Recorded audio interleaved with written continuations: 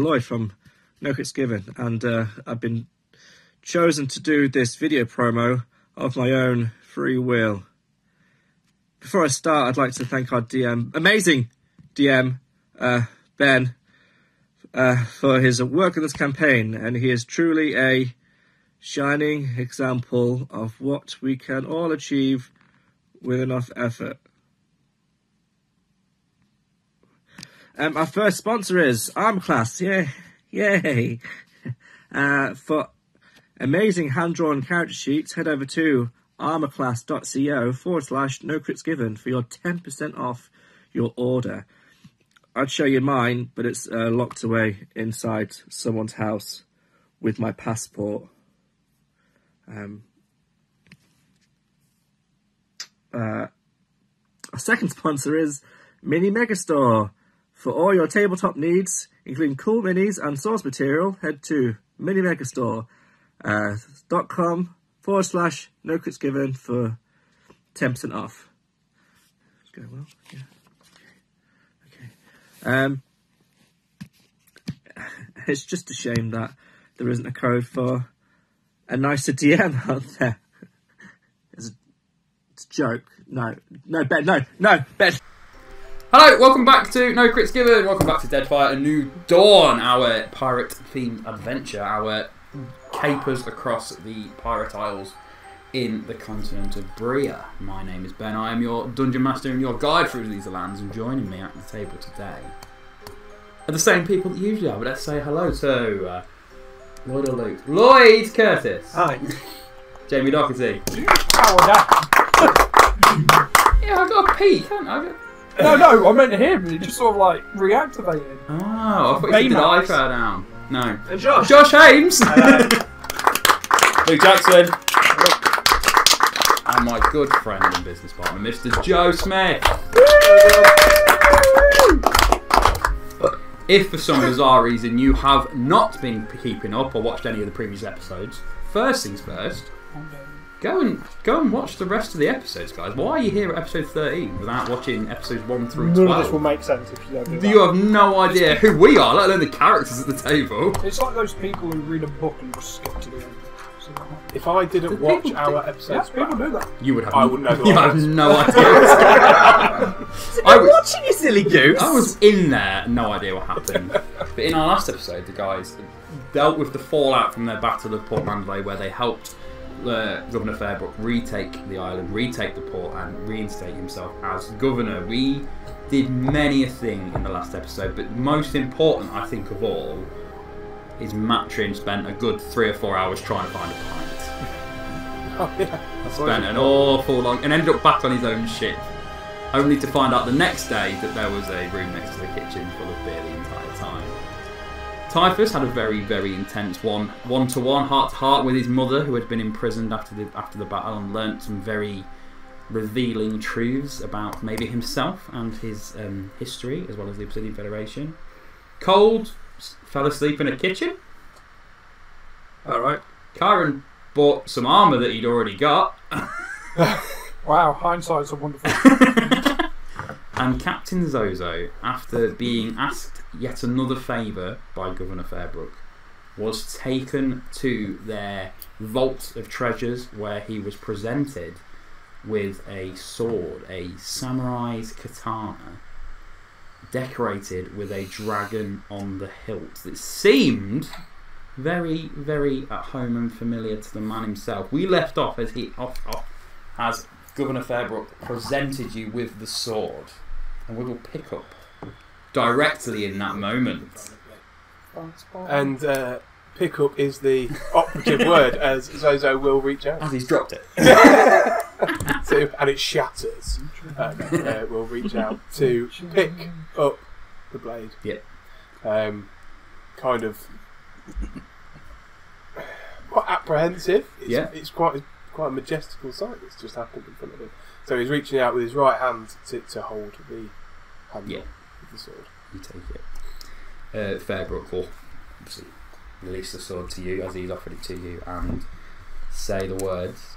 This sword has been in this vault for as long as I can remember.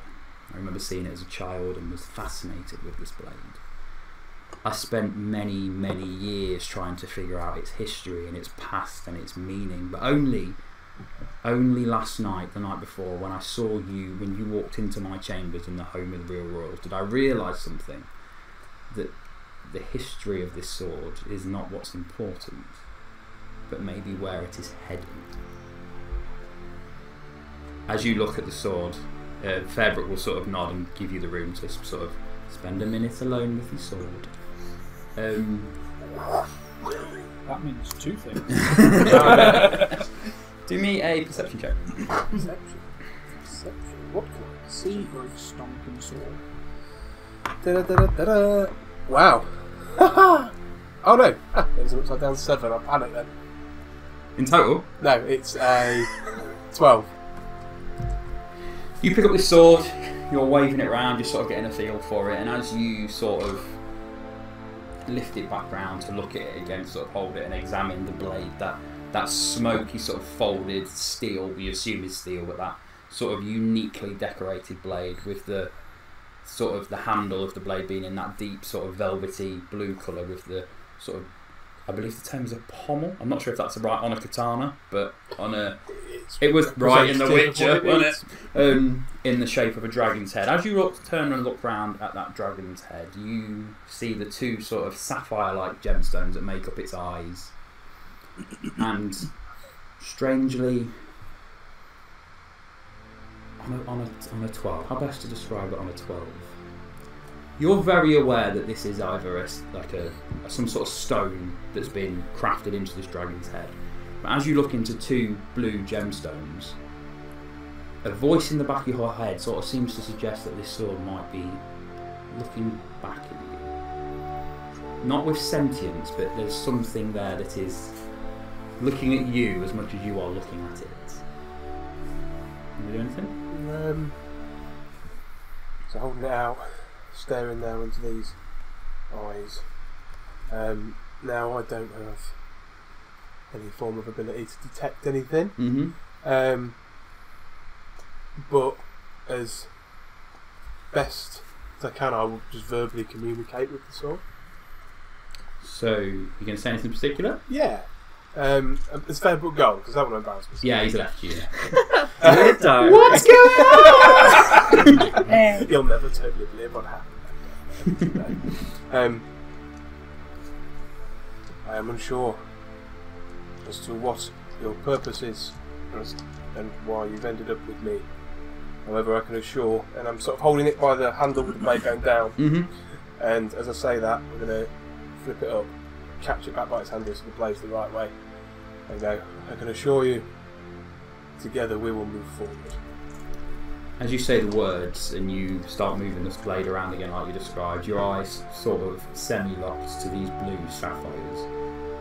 You slowly begin to realise that the blue isn't just in the sapphires. The blue has almost started to obscure your vision, sort of growing and flooding your eyes and your so- and what you're seeing. You can still see the blue of the eyes and the shape of the dragon's head, but everything in the room has started going blue, and then everything behind that blue is sort of fading away. Um, can you do a wisdom saving throw for me, please? Oh snap! Yeah. Oh, that's shocking. That's a two. Um, Uh, no, sorry, that's five.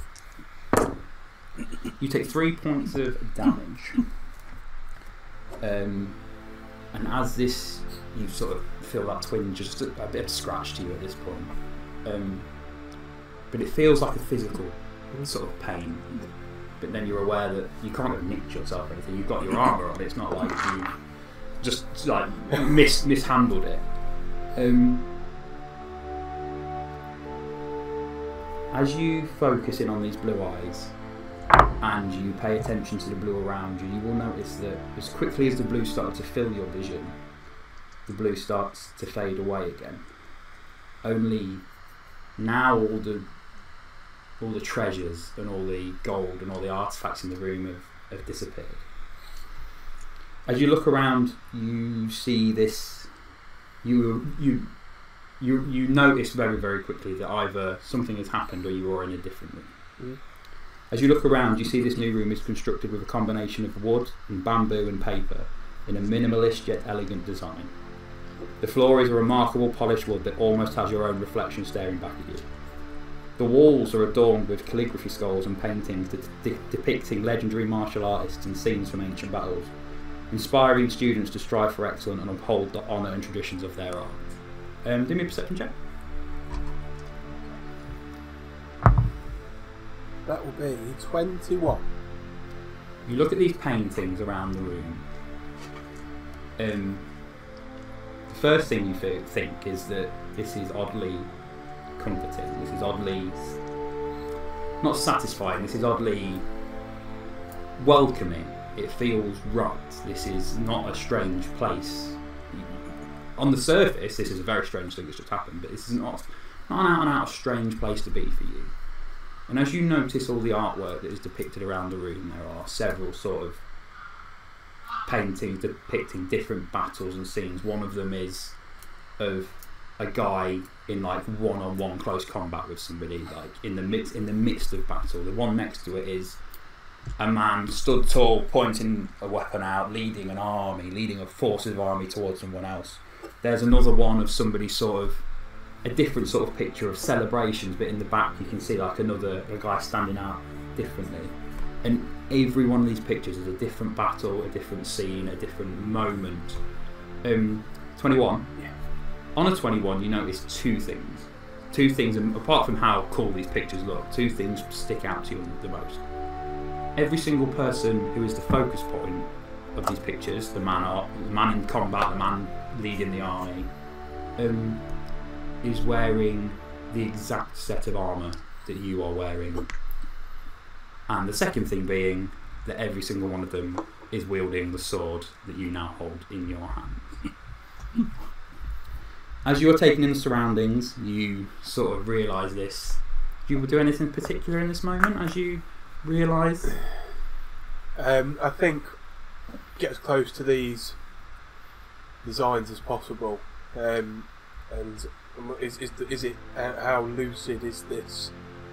You can walk around it. Yeah. Yeah. So walking over to these designs and with my free hand, almost reach, well, reaching out to sort of feel the bumps of the calligraphy, and just uh, and take my hand across it, and almost trying to sense what what what these are trying to say. And, and, and almost, you know, when you admire art, Mhm. but you know, you go full fledged here and just almost caressing them Yeah. to, to feel almost the stories that they're telling.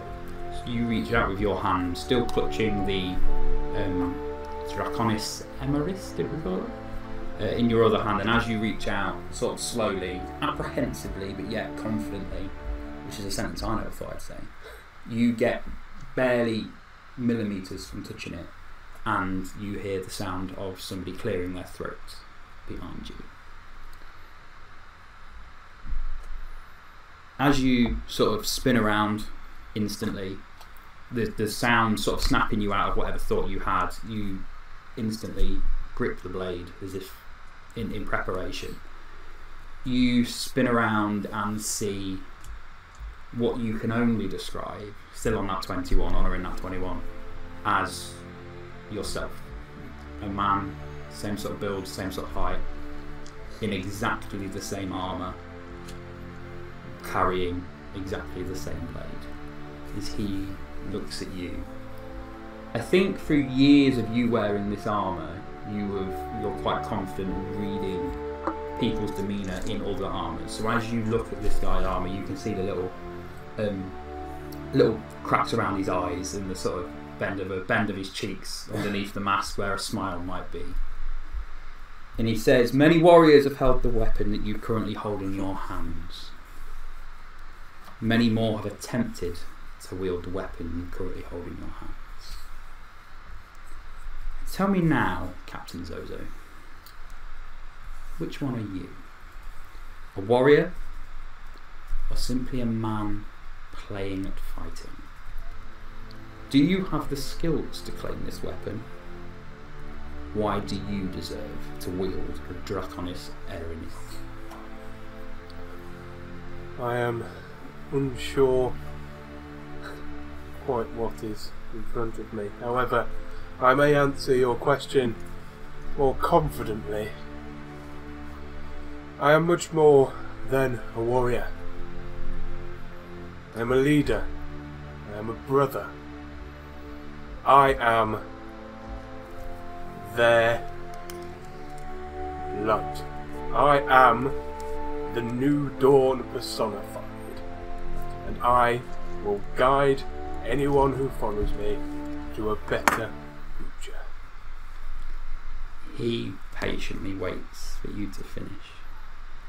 And that smile you can tell is there becomes a chuckle as he reaches to his waist for his own version of the blade you hand and slowly and deliberately draws it and sort of in a flourish brings it round and chuckles again and says, Show me. Uh, can you roll initiative for me? No. Ooh. Ooh, 23. Oh, okay. Um, do you want to be first? Just make sure I've got it all out. I will make a one-handed attack Mm-hmm. uh, for my first action. Uh, I'll move close enough. If, if that's Yeah, yeah, yeah, don't worry about that. Um, This room is small enough that your movement would take you anywhere in the room. yeah. Yeah. Um, move close enough. Uh, I'll roll to attack. Yeah, roll to attack. Uh, one-handed attack. Uh, that will be when at least twenty-five. That hits, yeah, easily hits. At least, yeah. Yeah, hits. Uh, cool. So that will be two d six. Please tell me you're about to try and carry on balancing dice on top of the ones you've already done. Uh, let's see, that's 10, uh, so thirteen. 13. Is there anything else from you, sir? Uh, hang on. Yes, because I have extra attack. So I'll You attack do? again. Yep. That is a sixteen. Uh, that just hits. So two d six again. Uh, that one's not as impressive. That's a five. No drama. Is that of your turn? Um, yeah. So as you come in and attack him, hitting him twice, as he, knowing the armour as well as you do, you're able to identify the weaker spots and pounce to make sure that you, you do uh, that uh, attack just as well. He will sort of take a step back and attack you back in the same fashion. Uh, 15, misses. and then he will take a second attack, uh, which is 17. Yes. 17 will hit. He is going to attack you. Uh, uh, sorry, that will be uh, 11 points of damage. So he rushes in to sort of, as you rush in to meet him and get two attacks on him, he's ready to be able to sort of counter them. The first one, because of the way he's been hit, Yeah. you manage to sort of duck out of the way of it. But as you duck out of the way of it, you get hit by the sort of the back down swing of the sword as it slashes you across sort of another gap in your armour. He will then take 10 feet back to sort of prepare himself as he stands in position waiting for you to come at him again. Your turn. Uh, my turn. I will start by using my bonus action first and cast a Zephyr Strike. Yeah. So, spell um, to ends don't provoke attacks of opportunity. Mm-hmm. Uh, once be- before it ends, can give myself advantage on one weapon attack. Yeah. That attack deals an extra 1d8 force damage. Yeah. Um, then whether I hit or miss, I can move the extra feet. So we'll move close enough Mm-hmm. with the effects of Zephyr Strike, sort of moving like the wind, Mhm. almost like a mirage effect. Wherever I move, there's like an after effect of where I was. Yeah. Um, and we'll go in for a. I'm going to go for first first attack. So I'll do two attacks again. Mm-hmm. Uh, like I say, moving like the wind. And the first one, I'm going to come around and use, and this time grab it with two hands Okay. and do a two-handed attack. Mm-hmm. So that would be uh, over 24. Yeah, that hits with ease. So that one, Do you get the advantage on that? I can elect to give myself on one. Okay. You don't so really. Need, you could try and get a crit, but you've already rolled a twenty-four. So. Yeah, I have, and then I can. Well, I think I can let to give it on my other one as well. You can, yeah. It's just once before the spell ends. So it? I know this one's hit, so I'm not gonna. I might as well save it for cash. So that'll be, that'll be uh, four. Sorry. Uh, fourteen. Uh, damage. Yeah. Plus Oh, hang on, let me just check how it works. Because I need to just check it's not the one you give advantage to. Uh, yeah, it is the one. Right, okay. Yeah. Yeah, so don't worry for that. So I'll make a second one. Yeah. Uh, so coming around with the two hands and keeping the two hands on it. So it's sort of one smooth movement round like this. Mm-hmm. And then we're just going to tilt the blade round, sort of roll it, keeping the two hands on, and bring it straight back up. Mm-hmm. Uh, and I will choose to give myself advantage. Okay. Yeah. No problem. Uh, which we'll need because that was below 11. That will be 19. Oh yeah, it is. Yeah. Nine on the dice hits. Yeah. Uh, so, and then that one will get an extra Get the extra Zephyr strike. 1d8 yeah. from force damage, so essentially it'll be 3d8. Okay.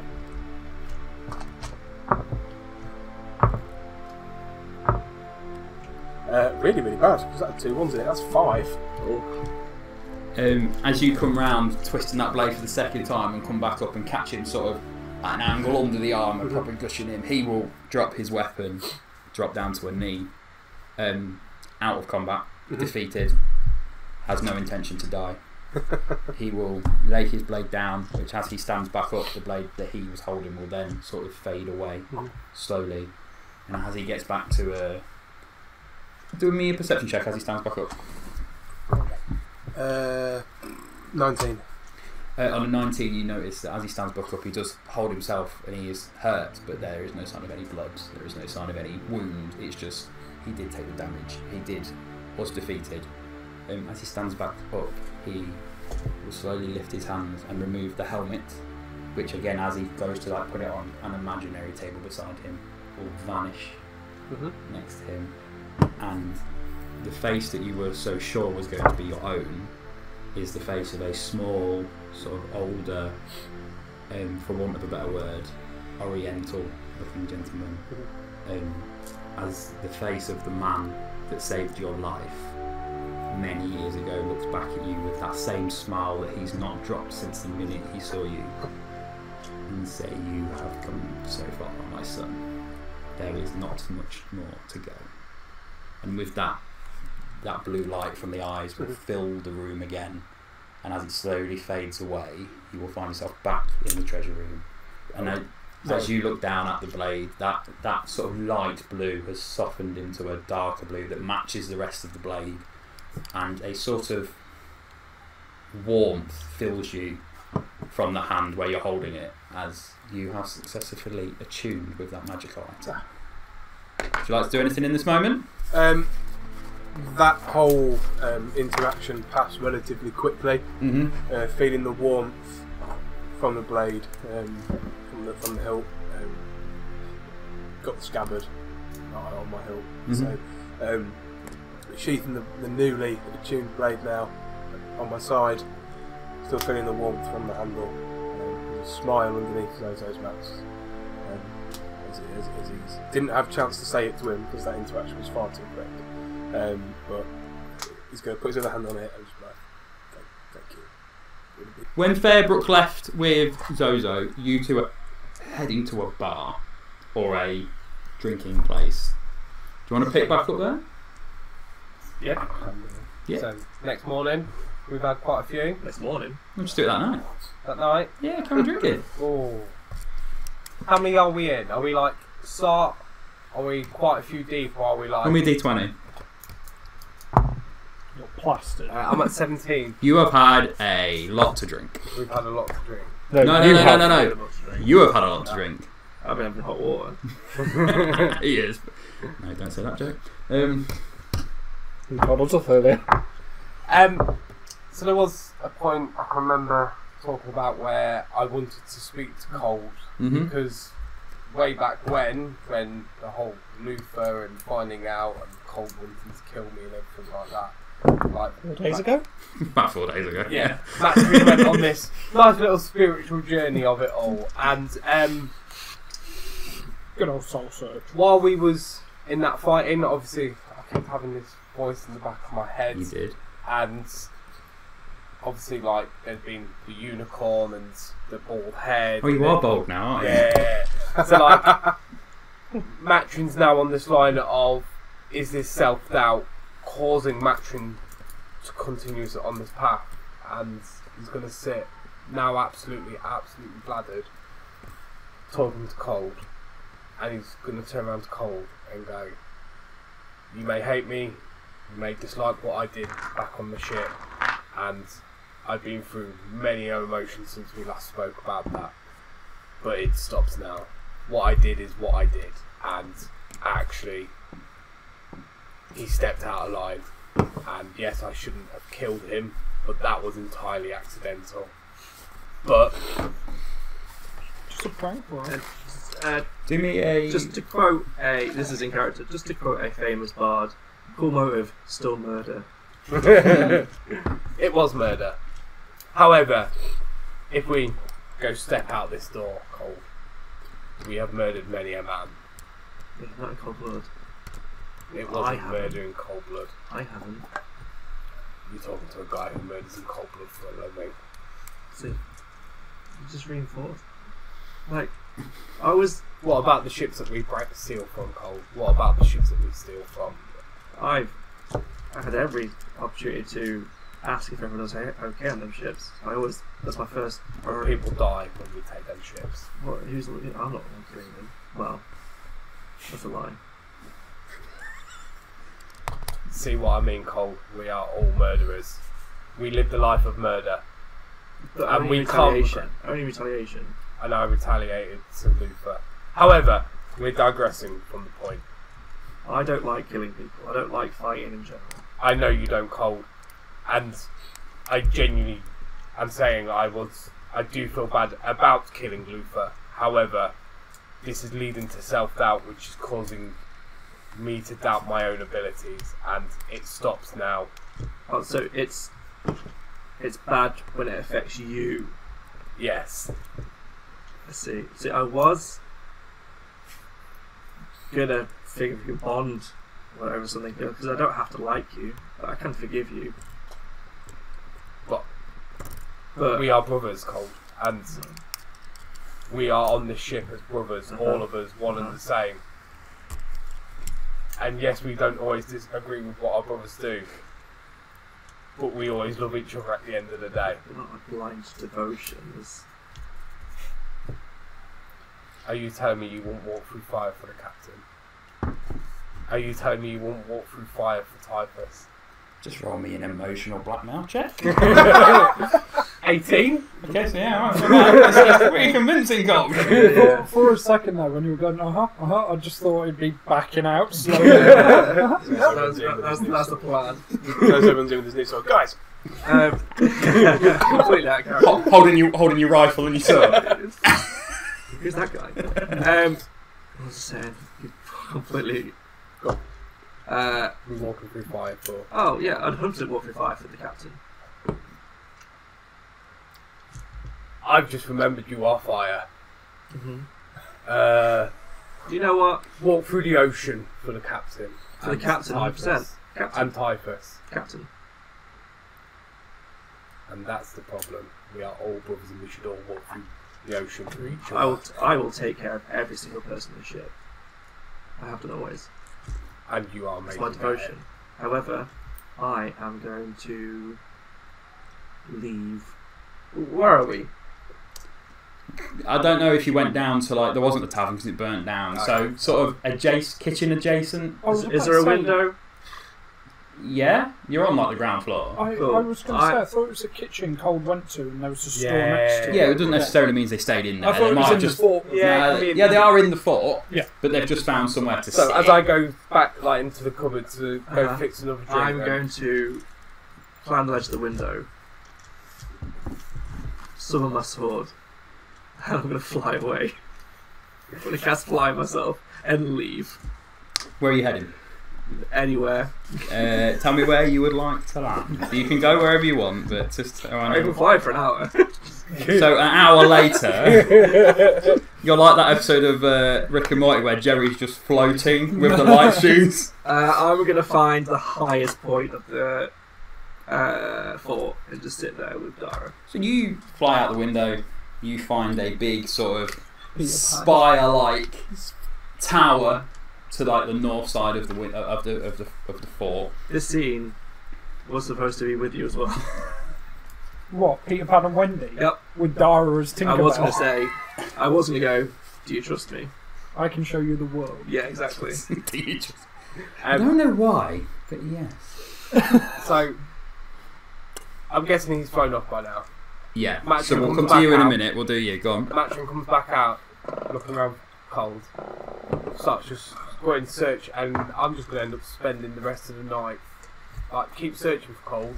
But once I've run out of alcohol, come back to the kitchen, and then search a different path around this whole fort, and just keep searching. Well, he thinks he's going around a different path. He's just Yeah. going around the Are you same actively now trying to stay away from? I'm Natural. the highest point of the four. I'm, Right. I'm pretty. Con- I mean, Do I'm not, you do me a people. Confidently can't find me. Constitution saving throw, please, with disadvantage because you continue to drink. Uh, I'm going to say that's a 17, but What lowest one? I rolled a 12. That's my lowest. That's pretty good. Like, you might have heard something because there was like Uh, because like flake without my feet. 17. Right, yeah. It's a saving throw, not a check. Yeah. Pretty much fine for us. Oh, Fine. saving throw. Yeah. Yeah. Yeah, okay, 17, fine. So you're a seasoned pro at this drinking thing. You manage to down flagon after flagon of ale. You find pouch after pouch of wine, some weird clear liquid that somebody told you was going to get get you even drunker, and you have one of them as well. But you, powder. there's like some powders. You meet him in the, One point, the someone toilet. brings out a drip. You're like, yeah, just put it in. But Paprika. you you're fine. You you managed. You get a bit lightheaded. You get a little bit. You've got a nice mid like session drunk going on. But yeah, for the love of money, you can't seem to find Cauld anywhere. So we are going to leave you searching. Cauld, you arrive at a like a big sort of tower, spiry thing that comes off sort of like the north side of the wall and of of the fort. And as you approach it, you can see like there's a staircase that wraps around it and a little door. So you land in front of that door and sort of give it a push and find it's open. And you you head in. This is pretty much an empty room. There's a couple of crates about, maybe a little chair. Do you do anything specific? Uh, just sit on the windowsill, staring out. Where's Dara? Dara is. I'm going to summon Dara into my lap. So as you look down and you see Dara on the floor, Dara's flown as if like with you. Just gets she's part of you at the end of the day, so she can fly as you do. And she, as you look down at Dara, do me a perception check, please. That would be a. So you look down at Dara, and she is burning brightly. Oh, hold on. Hold on. Two. There's there's Dara. So what? She's burning brightly as usual. She doesn't seem to. When you look at her face, you see that she is. She reflects your emotion quite well to you. Um, sort of the only other being that you truly gets you. I think is a fair comment to say. And as you look at her, she. She seems fine. She doesn't seem. She, she seems a little brighter than you would assume her to be Mhm. burning through, sort of the, the emotional state that you are in. And as you summon her up to your just to one hand, is it one hand or both hands? So on my lap. just on your lap. As you, she jumps up onto your lap as you're sat there, and she sort of snuggles herself down. Um, and you sort of go to sort of. She's not. She's made of fire, isn't she? She's not got hair, but you sort of would ruffle her hair. It's ambiguous. So as you as you go to sort of ruffle your her her Can I, hair a uh, little bit, Just take my bandana off. bandana off Yeah. And just look at it as. Are we enjoying this? It's just hurt. We just keep getting hurt. Then- So you you got your bandana in one hand, you've got Dara on your lap, and as you're talking to her and to yourself at the same time, your other hand sort of absent-mindedly goes to stroke her a little bit, and as you connect with her, a searing hot, intense pain starts at the tip of your fingertips. That's weird. As you look at it, you notice that as you look at your fingers, not only is it hot, hurt burning you and hurting you, which is alien, it's weird. Like you're literally made of like immune to stuff like this, but it's burning and it's hot and it's horrible. You notice that the pain spreads and starts burning your hands, and then to your arm, and then to your bicep. You, He's screaming. you are. Do me another perception check. Oh, 15. You notice on a 15 that not only is this pain growing, lines of burning white hot light are forming everywhere that there is pain. Across your arm, in like a spider web of lights and pain. It spreads up to your bicep and then up to your shoulder. And as you sort of stand, panicking, screaming, not understanding, sort of clasp your hands together back after we're dead. you clap your hands together like in panic, and then you see that where your hands touch, the same thing happens outside, and it starts spreading and spreading and spreading and spreading. You notice that it's spreading across your chest and down your stomach, and all these searing hot pain. Not enough to damage you because you've got immunity to like heat and fire and stuff like that. Not immunity, so resistance. Um, so you're you're aware enough to not let it affect you, not let it like your innate sort of fighter combat mode, as we've referred to it before, is there to sort of protect you, but you start it spreads down your stomach and onto your legs, and even like that, your your exposed midriff, you see various different lines of be burning light, and then it starts to fade. Just as quickly as it's built up, it starts to fade away again, and you see that the lines start to fade away a little bit. You can sort of see the remnants of them on your arms as you look down at your hands and arms. You're not sure whether it's you can just see them because burnt into your eyes, like you've been staring at the sun or something. They But have a texture to them.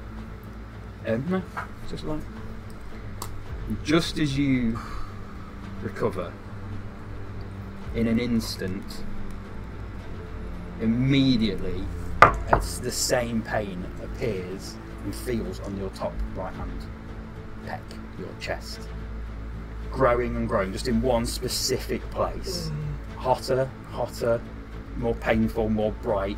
You can see under your breastplate there's a light shining from underneath it. You do anything? Yeah.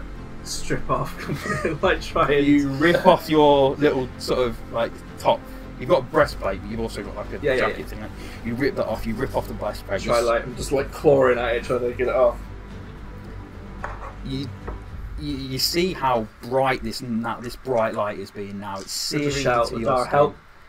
You- Help Dara. You look over at Dara, and Dara, you can see her breathing, but it's on the floor, sort of mimicking your pain, as in she's writhing in pain as well. Again, it doesn't look like she's hurt, but she can obviously feel the pain. Uh, I think instinct would kick in and I'd immediately forget about me and just rush over to her.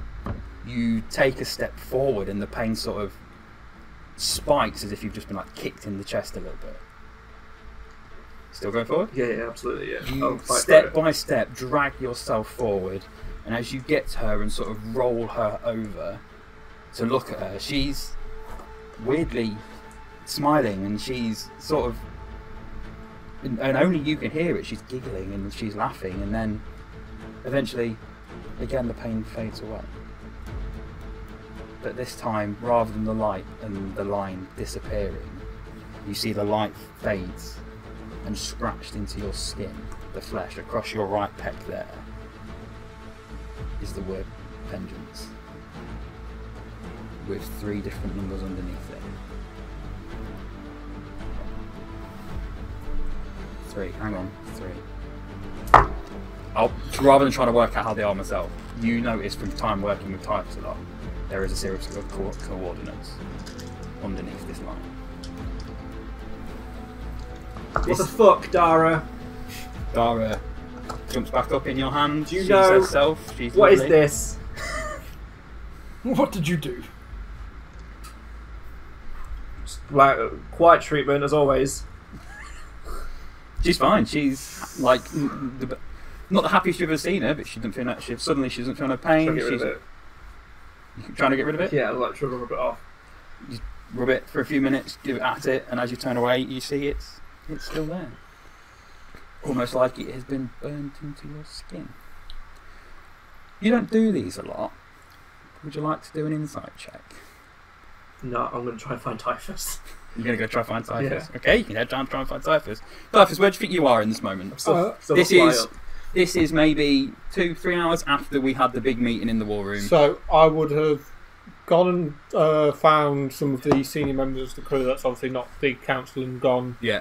Uh, told them to raid the Obsidian Federation ships, Nice. uh, especially getting their flags, as well as getting a full set of uniforms for the entirety of the crew in case we need to do. Infiltration. Exactly. Very clever. Uh, you Um, can all mark in your inventories personally that you will that now eventually have a set of Obsidian Federation armour. Uh, we will sort out what the crew gets from the ship specifically in Yeah, a bit. that's fine. Yeah, whenever. um, as well as also um, making sure that um,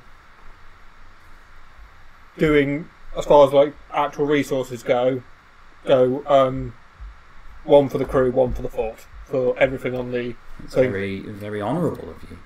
um, as and would probably have gone for a wander around the fort aimlessly Yeah. while seeing if there's anything that brings back a positive memory, trying to wash out all the memories of it that he has with his mother in this place, but trying to remember all the stuff he had with his father. Um, I think as you head round the fort, sort of undirectional and un, Yeah. un I think um, While, muscle, while also trying to avoid a drunk uh, yeah, you're very aware of Matryn is stomping around. The- Matryn hasn't worked out that there are more than what because he's he's fine. He's drunk a lot and he's fine, but he's at that stage of drunk where he's forgot there's an upstairs. Cool. So he's just going kitchen, dining room, hallway, yard. Kit- oh no, he must be in the kitchen. Oh, I bet he's in the dining room. That's the sort of route he's going. Yeah, backwards and forwards, keep getting drinks at the time. yeah. And every so often someone just hears, You are convinced you found five different rooms that have all got drinks in. You just keep going through the same room. It's like Luigi's Mansion. So you you're aimlessly sort of walking around, um, sort of lost in your own thoughts a little bit, and I think muscle memories maybe takes over a little bit from all them years ago, and you find yourself in in your bedroom from when you were a child. Your bedroom is oddly smashed up and wrecked, but still, as, as you expect, all your stuff that you left is still here. Nothing's been taken out. Do you like to do anything specific in there? I'll have a quick glance over, see if anything You find Um, I was going to say because I had a few maps from when I was younger, which I'd take Yeah. just, just as because I think you've got like um, I'm not sure what the 1500s pirate equivalent of a children's first atlas is, but you've got some rudimentary drawn, like not very detailed block colours. Like this is Mandalay, Yeah. this is uh, I know Rockcliffe, this is another island, Yeah. this is this one. Um, so you find them and they bring. Oddly, the first thing you think when you see them is is memories of your mother because as much as you despise the way she was and you even more so despise her now it was the hours and hours that she would spend drilling information to about like other nations and their leaders and other noble houses and then the geography of it on top that actually sparked your interest in maps and geography and, and sort of um, wayfinding a bit she is in no way responsible for how good you've become at it. That is purely on your merit as working of working at it. Um, but yeah, then as you ruffle through, you find underneath there is a picture, and um, do me a insight check.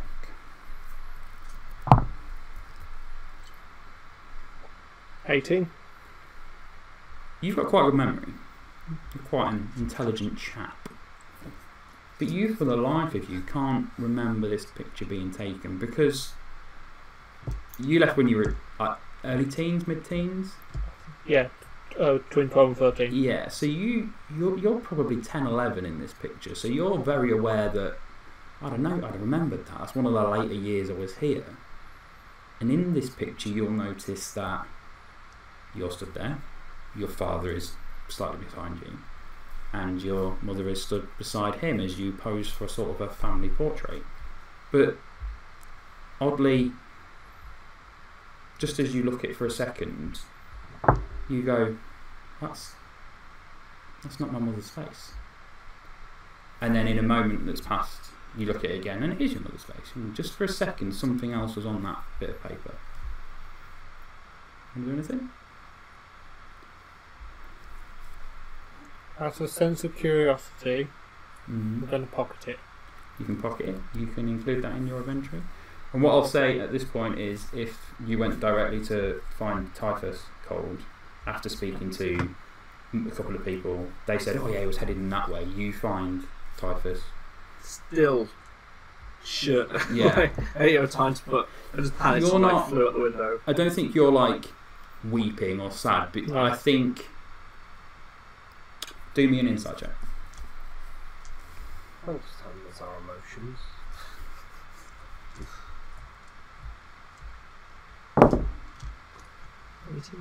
On an 18, you.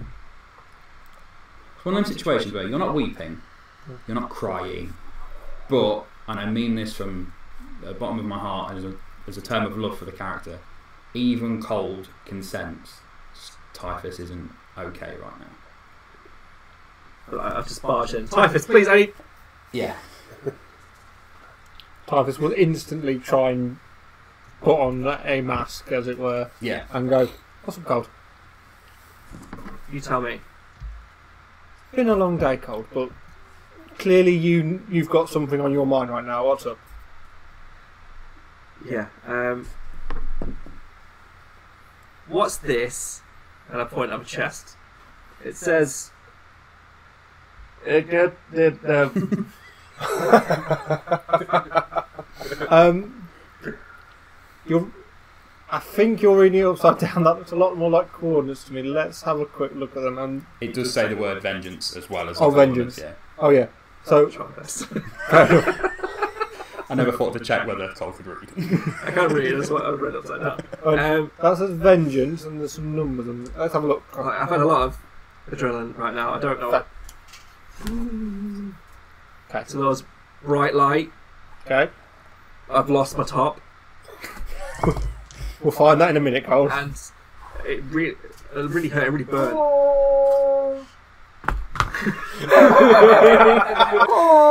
Ignore that. Don't even. Don't even. So as soon as I hear that, um, I wave my hand and the door shuts. I, I use mage ha- hand to, hand. to close the door. That's really cool. Um, Thanks. The, it really hurt. I've never really been burnt Yeah. since Yeah. being orange. Um, obviously, um, before then I got burnt all the time. but ever since I changed, it really hurt. Typhus. Okay. Okay. I I understand. It hurt. Hurt. Right. And I've Do- lost my top. We'll do that. We'll we'll go find your top next. Um. So what happened to cause the pain? Mm-hmm. Okay. Like, just hit me. Fair enough. So I, I assume I, I assume I can go. Although I did have an argument with Matryn. in fairness, It as- could be Matryn. in fairness, I do feel pain whenever I talk to Matryn as well. Um, Don't we all? can I go and inspect the. Do the? you want to Um, do an investigation on on the? You're looking at the numbers. yes. Do I get advantage on this because it's coordinates and mappy stuff? I will allow Lloyd to give you the help action if you would like. I don't Do you mind, or do I put the dice down? Do we have to? Hang on. So, uh, investigation was that? Yeah. 18. Um, so, Cauld. The first thing you see when you sort of touch it, look Yep. at it, um, is that every time you touch it, he winces because it's still quite painful. Like the, the constant pain is, is gone, but it's quite painful for him So, to touch sort it. of like a couple of days after getting a tattoo. Sort of. Yes, yeah, that sort of thing. And the second thing you not sort of notice is as you sort of press it, it's the the skin rather than getting a tattoo, the skin's like being burned. Like if anything, in your knowledge, you would have had, you would have most associate this with like being branded as such, like So more scar tissue than yeah, more scar tissue than like a tattoo as such.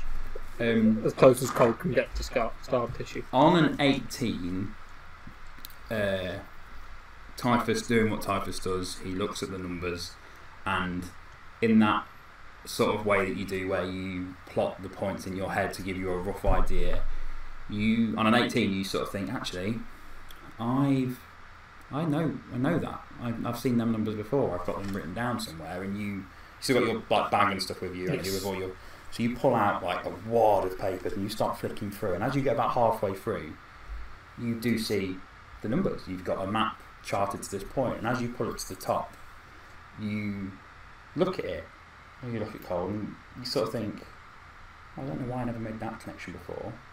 And as you turn it round to show Cauld, Ember's Throne, the island that Cauld grew up on, That's my home. is on the map. Okay. Is there someone on Ember's Throne that you don't particularly like, out of curiosity? No, everyone's amazing. Well, I n- well, accident happened. Okay.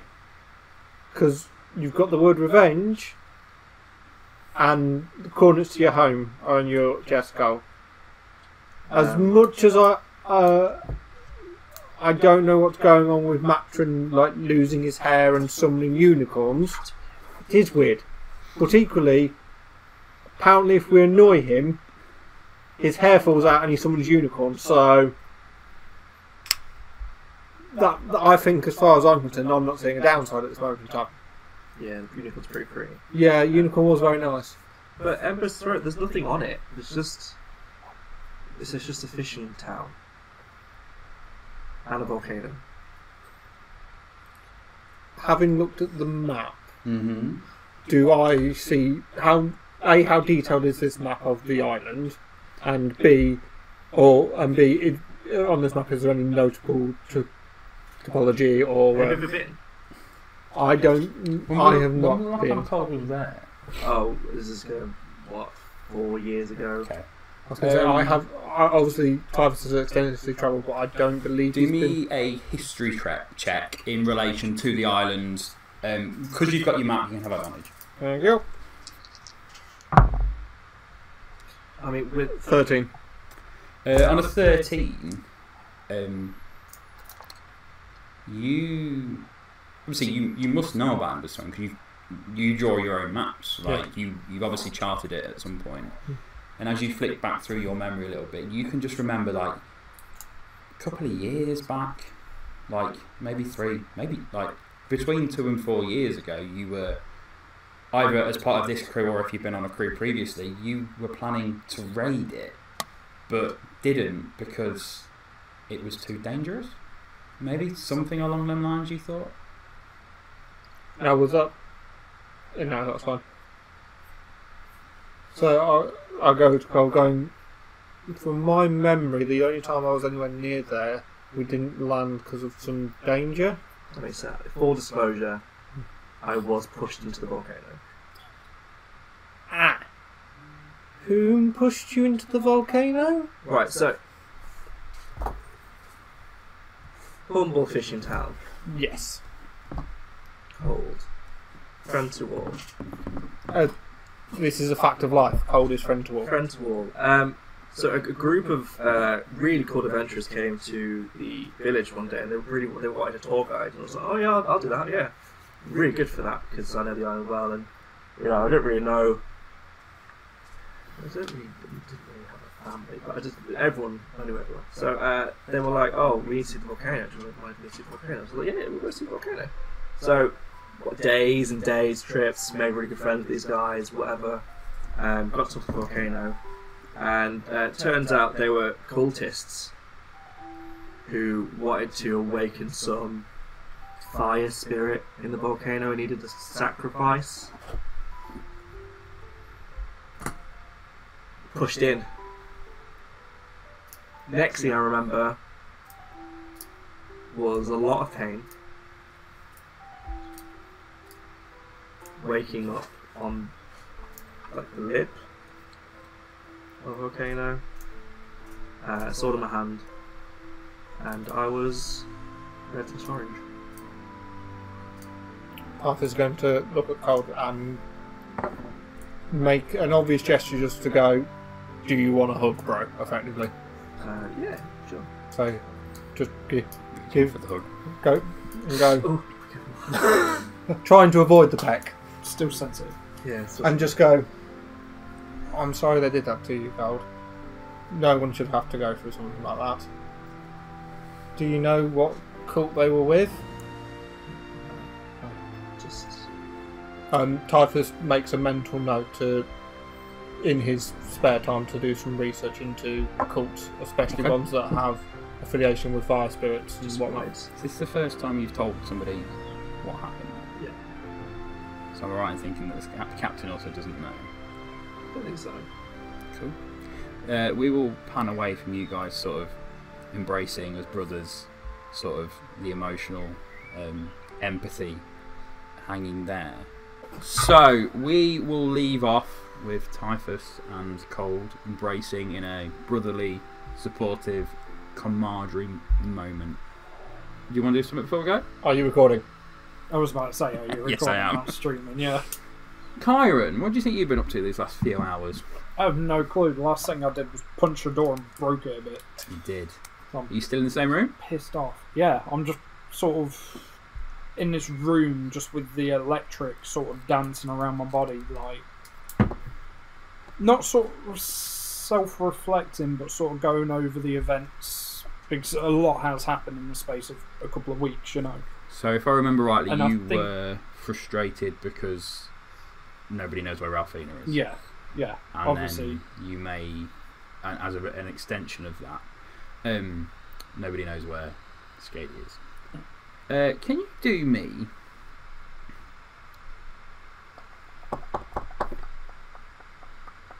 Just trying to find the most appropriate role.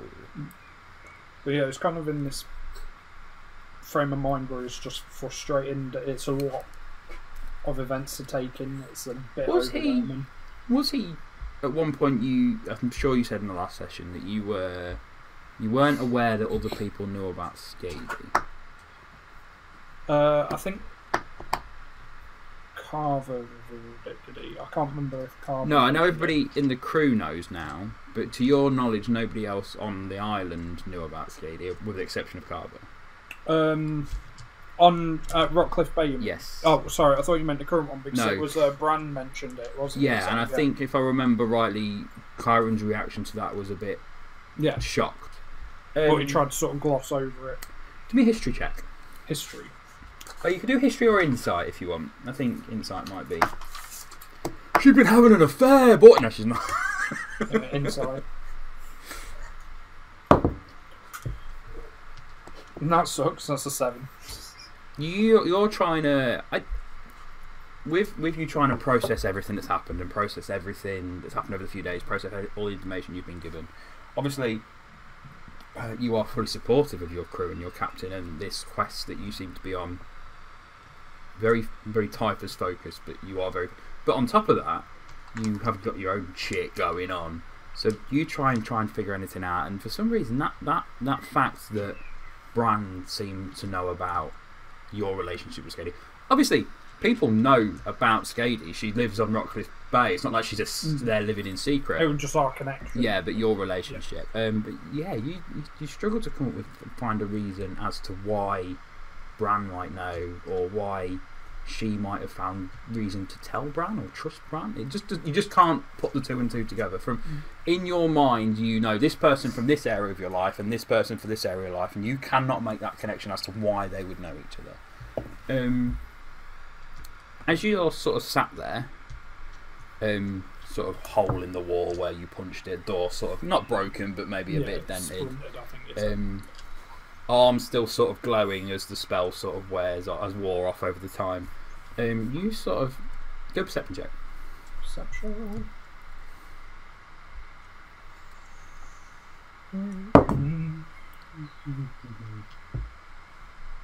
Nineteen. Yeah, you, you're sat there, your head in your hands, you're racking your brain to think of any reason as to how Skady and Bran know each other. Where could Skady have gone? Is Skady still with Ralphina? Where's Ralphina gone? She, she was dead set on not leaving the island. You just hear a little tapping at the window. Oh, I guess I'm checking that out. You open the the worst thing to do in a horror movie. But yeah, sure, let's go check out the weird tapping. Open. It's cold on the roof. As he's flying around. Hey, Well, like Lost, what's this? well, like Lost Boys. no, I, I was thinking more for a second like Jen and IT crowd when she's outside his window. Stop telling people you slept with me. um, you go to the window and you pull sort of curtains back, and through like the sort of it's not a, it's not raining, it's not snowing, Yeah. it's not sunny, it's like a dull day, early evening sort of time. Mm. Um, you can just make the outside of like a blue, looks like it could be blue bird tapping at the window. It's not the cold then. It's not cold. no, it's not. It's not. Unless Cauld's like polymorphed. Just play a prank. Yeah, I'll open the window. You open the window, and this bird sort of instantly flies past you. Um, does a couple of laps of the room. It's it's translucent. It's instantly you realise. Um, what was your perception? Twelve. Uh, sorry, nineteen. Yeah. Um, it's clearly not a real bird. Some sort of illusion, some sort of magic thing. Um, A bit like Mage Hand looking. a little bit more. Um, not to give away where this is going, and for people that haven't seen the films, I apologise. Think more patronacy from Harry Potter, more like a blue Yeah, and yeah. silver sort Okay. of translucent animal. Um, a couple of laps around the room, and just rests on the corner of like the bedpost. And as you turn to look at it, it looks back at you, and without opening its mouth, clearly talking to you telepathically, you hear the unmistakable voice of somebody you know say, "The next time you scar- you carve something into my tree, make sure you know what it, I'm what it I'm going to know what it means." The voice of Carver LaRue fills your head.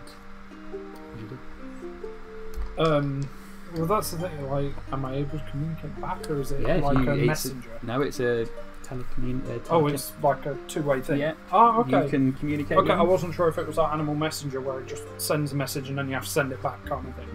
No. Okay. Um, I'll be like, well, uh, it got you to contact me, didn't it? You're aware that you were in my home. If you wanted to speak to me, you could have spoke to me. Yeah. I didn't feel it was a good time with the rest of the crew there. What do you need, Byron? I need help, to put it frankly, and I have no clue who to really turn to in this. You know more of my life than probably most people in my I know life. more of your life probably than I want to. Yeah, probably. What can I help you with? What's the matter? Well, um, as well connected as you are, you know that Ralphina has Skadi. Yes. Um, it seems to be uh, far reaching at this point, as it was Bran who notified me that Ralphina's left the island now. Yes, she has. But I need help tracking her down. Tracking Ralphina. Yeah. I'm not going to do that. Instead, I'm going to ask you a question. And then I might disappear. How does Ralphine track you Um, with blood. with blood? She has your blood. So if she can track blood, then maybe other people can track blood. Maybe you could track blood. This, this in your head, you can see Carver in his standing in his kitchen, sort of eye, fingers on his Yeah, eyes. because I'm, I'm just going to raise my eyebrows as you give say, him that face. Right. Okay. the art of tracking through the means that Ralphina uses isn't something she was born with. Okay. Okay. So, if, say, you could use that same method to track blood in people's blood, how might you think you could use that ability to find where she is?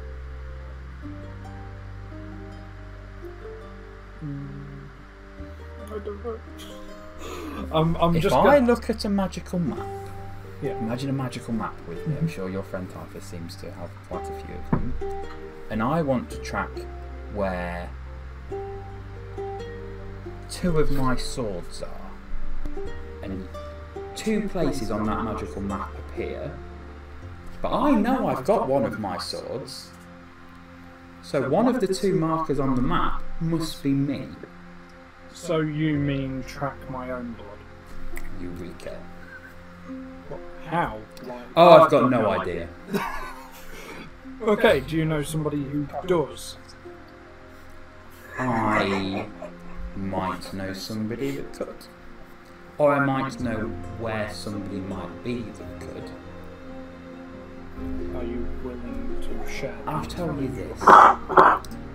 There's not a lot on Rockcliffe Bay that happens at Idles. but at the minute I'm not on Rockcliffe Bay. So there is a, not a lot elsewhere that I don't see. Why don't you ask your captain where you're heading next? And he will dissipate, not fly back out. Yeah. The bird will just But uh, dissipate. just before he does, I'll give him a nod to sort of just make it clear that I, I'm, I'm following you. Yeah, and he will dissipate. and as he dissipates, the window will slam shut, and he will he will leave you standing there on your own. Okay. So obviously at this point, Chiron's then going to start having um, not doubts, but like suspicions about what the captain could be keeping from the rest of the crew as But you well. can do an insight check into that phrase about asking your captain if you want, Mhm. In an attempt to find more information. out. That's a eleven. Uh, on an 11, what I will say is Zho-Zho, honestly, hand on heart, isn't keeping anything secret from anybody in relation to what might be at certain places. Okay. I'd also say to the table, Zho-Zho might not know where he's heading next. Okay? Happy? I'll um, on that I'll uh, set out to find Find Zho-Zho. Find Zho-Zho. Fucking missed his comment. So after you did that, like, I'm trying to teach, he turned around and went, that's how you teach. no, I didn't mean it as, I mean, that's how I imagine you actually teach. Oh, I thought you meant, that is That's how I imagine you actually teach going, right, so I've got this. How do I find this? That's, Oh, fucking hell. that's just a quick bumper. I was about, I was about to say Carver's a prick. and you equated to Josh. Carmen's No, just his is own how I guy. ask. Uh,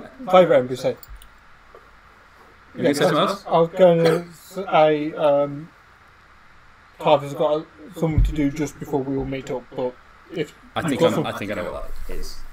Are you Awesome. talking to your father? no, You want to talk to him at some point, no, don't you? uh, as we leave. Yeah, no, yeah, we can do that as we leave. But I was just going to say, Right, Ty- Typhus wants to do a planning of the route before he goes to talk to Zho-Zho, but okay. You want to do something now? Yeah, I want if um, Fairbrook's got a few people, spare labourers wise. Uh, you can go and find him and speak to him if you like. Is that right? Yeah, you find him just back in his office, desk full of papers, milling about. He's got some Candy Crush on the go. He's not, no. He's, Hey, Fairbrook, look! I, I just see it as you've just got. He's just given you this awesome sword, and you're like, by the way, I know you just gave me this cool sword, but So you go find him. He's in his office. He is already hard at work rebuilding the like plans to rebuild the island, rebuild trade routes. Yeah. It's very hard for him. Yeah. He's just outwardly declared in support of a rebel, outcast pirate nation, which then might impose on his ability to trade. But hey, if there's if there's one nation that's willing to have a sympathy, sympathetic ear for the pirates, there might be more. Yeah, YOLO. Yeah. Just gonna like knock on his door. Like, yeah, just sort of knock in on his door. So he will sort of, as he looks sort of, sort of not gesture for you to come in, but sort of nod to say, yeah, you can, you can. enter. I, Go on. Governor Fairbrook. Captain Zho-Zho, I see uh, you have found a home for your new blade. I'm sure. Your heart. Seppuku! um, I have many people to thank um, for, for, for that, you, you you being one of them. Um, I, I, without wishing to overstep my mark or any boundaries, I was wondering if you had any labourers, specifically painters or decorators. Um, he sort of Yellow pages. speaks for the minute, um, flicks through a all pile of about that he's got on his desk, and I know he died. Um, I can, I certain, I, we certainly have labourers, or more specifically painters, on the island. Um, what, what might you need them for? I just wish to borrow a handful to come with me to the ship. Um, yeah, um, not to be selfish, but uh, we need every hand on deck, so to speak, to rebuild this place. However, if you do not intend to leave the island with them, I'm sure that you head down into to, towards where the docks are, you will find um, who you are looking for. I have no intention of leaving with them. Um, I just wish to borrow their artistic skills to uh, bring to life my new vision of the new world. Um, then certainly, if you head down to the docks, um, there is a gentleman down there who should be hard at work repurposing an Obsidian Federation fleet for our purposes. Uh, I believe you will find him talking to Captain Nauro. Uh, thank you for your time, Fairbrook. Uh, Um, you uh, are welcome here anytime, friend. and you know we are here to help when you need us.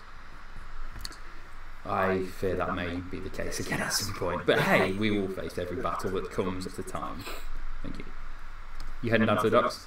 Yeah. You head down to the docks, and as you make your way back through the archway that you entered a few days ago in in secrecy, and I can't remember if you bought your way into the island originally or you fought that guy at the front, but you do find a every one of the Obsidian Federation fleet that is in the docks with your New Dawn being on the end are being stripped and um, like repainted and repurposed. You find some of your own men helping, as Typhus has been uh, been down and instructed them to do, and you do find a like a. You find Captain Narrow. He, um, as he sees you approaching, he will give you a nod to say like good morning, but then move off to sort of uh, talk uh, to deal with the issues that he has to deal with.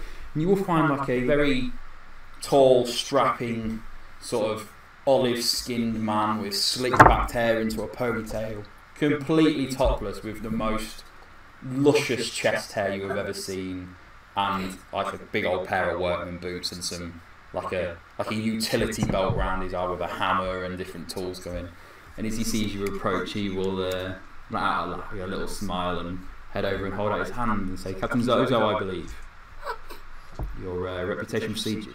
I will extend my arm, countering whichever arm Yeah. suits which one is put out.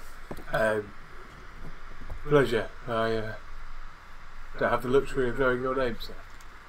People just call me Dave. Boatman Dave. From what you described, it's the man around as new Yeah. part. What you described, I've got to get a kebab.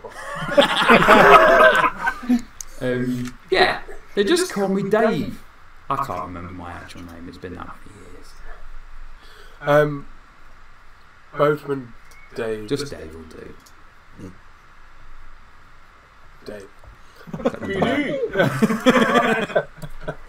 Um, I've, I've just been speaking to Governor Fairbrook, um, and I, I was looking to loan the, the time of some painters, decorators, artistic gentlemen, maybe such as yourselves, um, to help me bring to life the vision I have of how I believe our ship needs to change. What did you have in mind, sir? Um, did we ever go over how it actually looks? I mean, You or is it just a ship? didn't. You've just got a ship. You can take this chance to Explain if you wish. Oh my god, we have customization options. yeah. Yeah, you've not unlocked that one, sorry. Oh no, it's microtransaction, isn't it? Yeah. Five No, you have to complete 50 races, but Have you lots new songs though? have you been around Port Mandalay looking for them? Leave her, Johnny. Yeah. I envision my perfect ending to this campaign is we will fade out to credits as we were all singing that in the last episode. Anyway, uh, what do you have in mind? So let's let, let's say the New Dawn is a relatively normal ship. Yep. Yeah, it's nothing spectacular. Um, the normal flag that flies for the New Dawn is a white background flag with almost uh, the outline drawn in black of hills and a mountain region Mm-hmm. with an orange sun rising behind it. And that's the normal flag that. Very cool. Um, but the ship just looks like a ship. Um, Zho-Zho's going to ask if Big Dave Big Dave. Big uh, would mind being through what Zho-Zho's been through, being on the little achievement journey he's been on. I think it's about time and he feels that him and his crew have earned a bit of not necessarily status, but it's time that we fully lean into who we are Mm-hmm. and would like the boat to be decorated from bottom upwards, so the bottom's ascending in different shades of blue, starting at the darker colours at the bottom, Yeah. moving to lighter blues as it goes up. Just yeah, just a cascading Just like a yeah, gradient of blue. uh, yeah. When you say to top, sails or just rail around deck. So all of the what I'm going to classify as like the bottom half, the bottom of the ship, Yeah, uh, including what we walk across to the deck. yeah. Um, all the posts uh, we will go with yellow. So all the finer decals and things like that. So it's all across the ship. This very, like I say, fading from dark blues to Mhm. light blues all across, with all the finer bits um, and masts and things like that all done in decorative yellow. Mm-hmm. He will listen intently, and you can see the whirring mind of a tradesman, tradesman whirring along as you speak, as he is already every word you say. "Oh, it's gonna- Yeah, it's going to be thirty gold for that, and then it's that. When are you looking to have this done? Um, well, I'm still waiting to reconvene with the rest of my crew, so at the moment I'm in no rush.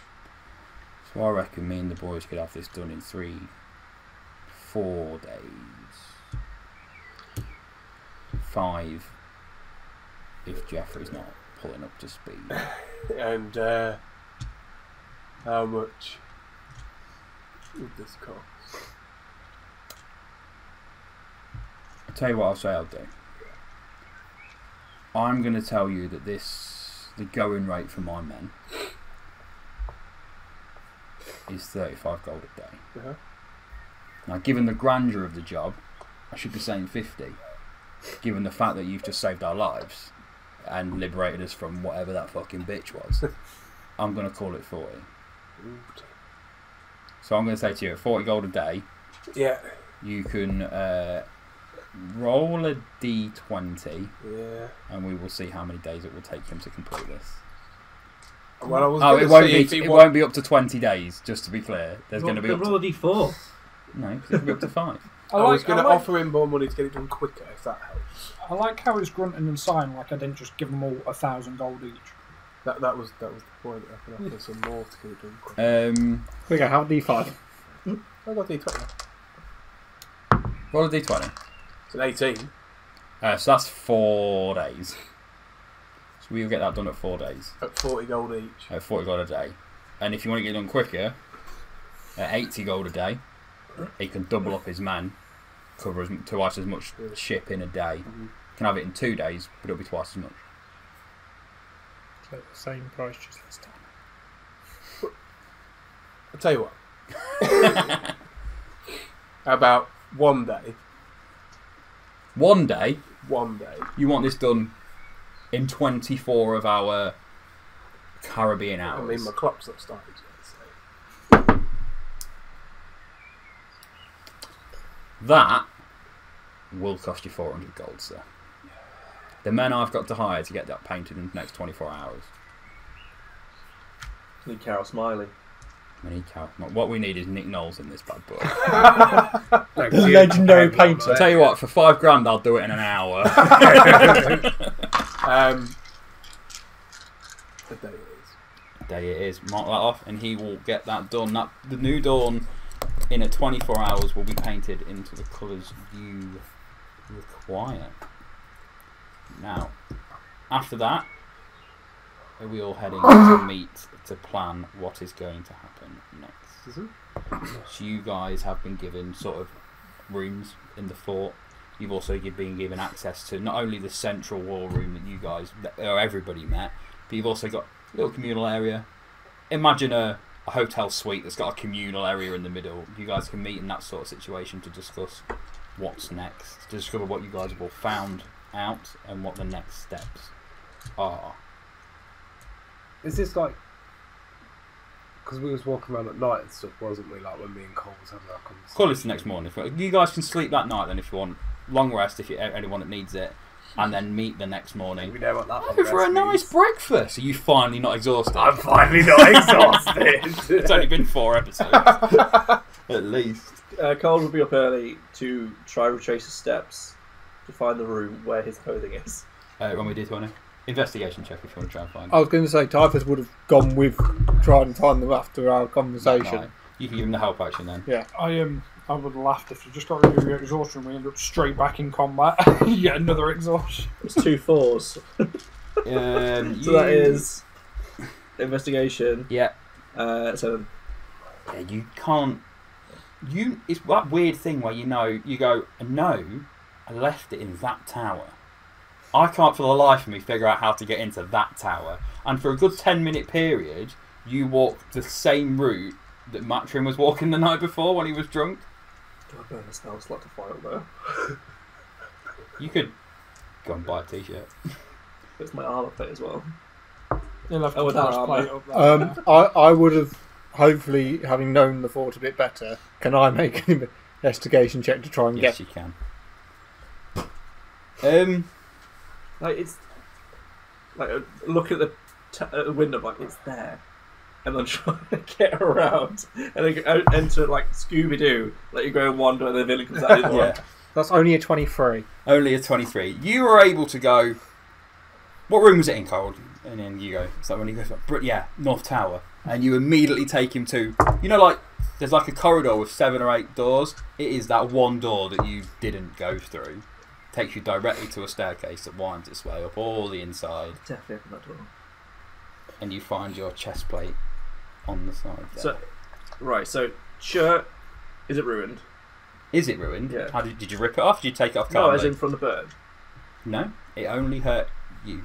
Uh, Okay. You felt because you didn't take any damage. It wasn't hot to touch. It was just you felt the pain of it being there. Okay, so there's no like second imprint on my breastplate. No. Then I shall I would get like dressed. vengeance. As before you get dressed, as you go to sort of, I don't know, pull it on or put it on, and you see your this now scar on your chest with this word and the things. Do me an investigation check. Not an, yeah, do me an investigation check or an insight.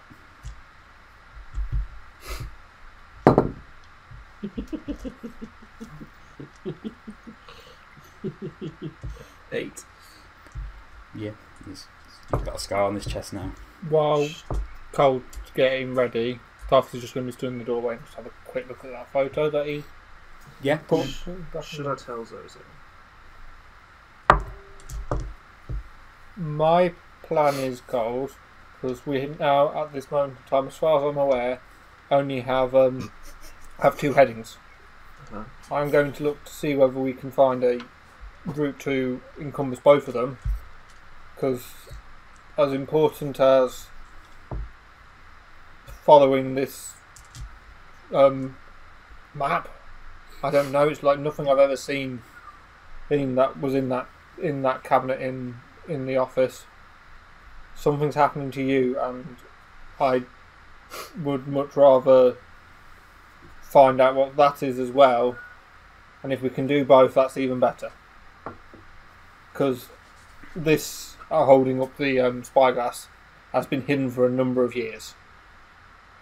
And we know who's coming after us for this.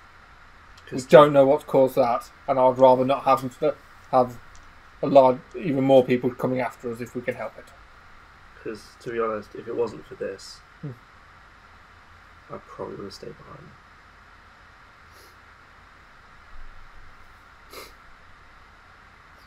You're the kindest one of us all, Cauld. Never, ever change. Okay. Typhus will chuckle to himself as he follows Cauld. Uh, do you still want to look at that picture? If you don't mind. It's up to you. If you want to look Yeah, at yeah, I'll have a look what Cauld's put in his armour. it. Right. Yeah, roll There's like, do an arcana check for me. Of course.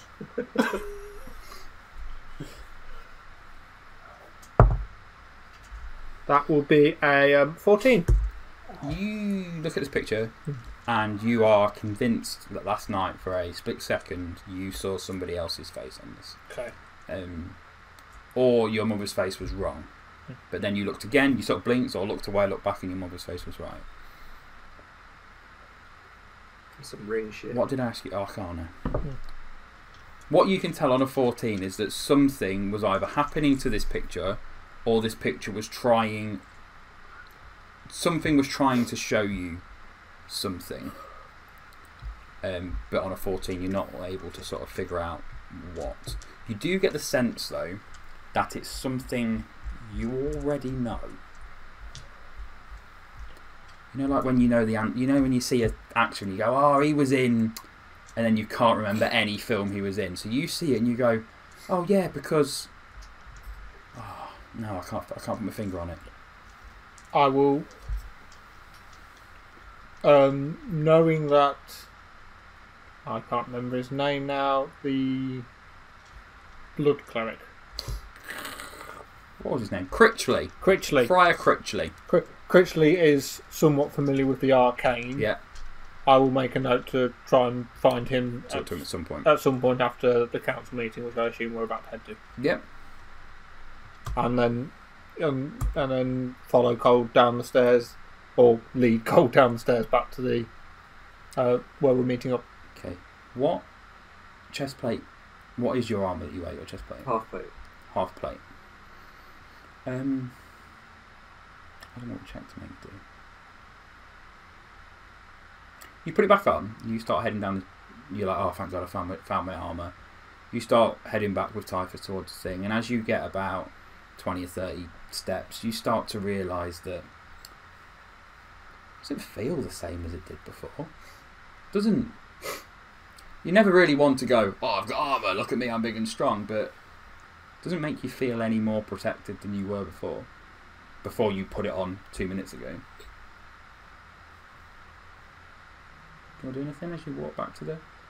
Typhus. Is this? This is definitely my armor, isn't it? Yeah, of course it is. No, I've I've never seen anybody else have cropped um, half plate. You can do a perception check on Cauld if you like. Of course. I'm gonna say with that being a four, uh, so a nine total. It just looks like Cauld. It's fashion sweetie. There's nothing really, really uh, diff- like to notice about him. So you guys head back to meet the rest of the crew. Yeah, I will uh, will go immediately to find Zho-Zho. You know, I have something to show you. Zho-Zho's like, wait, where's this going?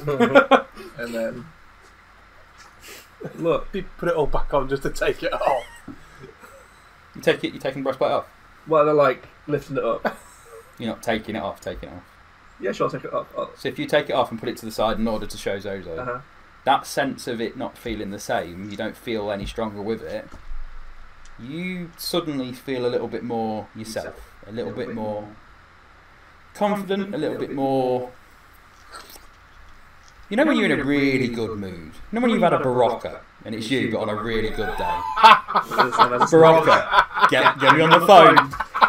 Do you know what I mean? So you feel suddenly you feel really not powerful because you're not the type of person that puts a lot of stock in power, but you do feel a little bit more comfortable, a little bit more in control, let's say.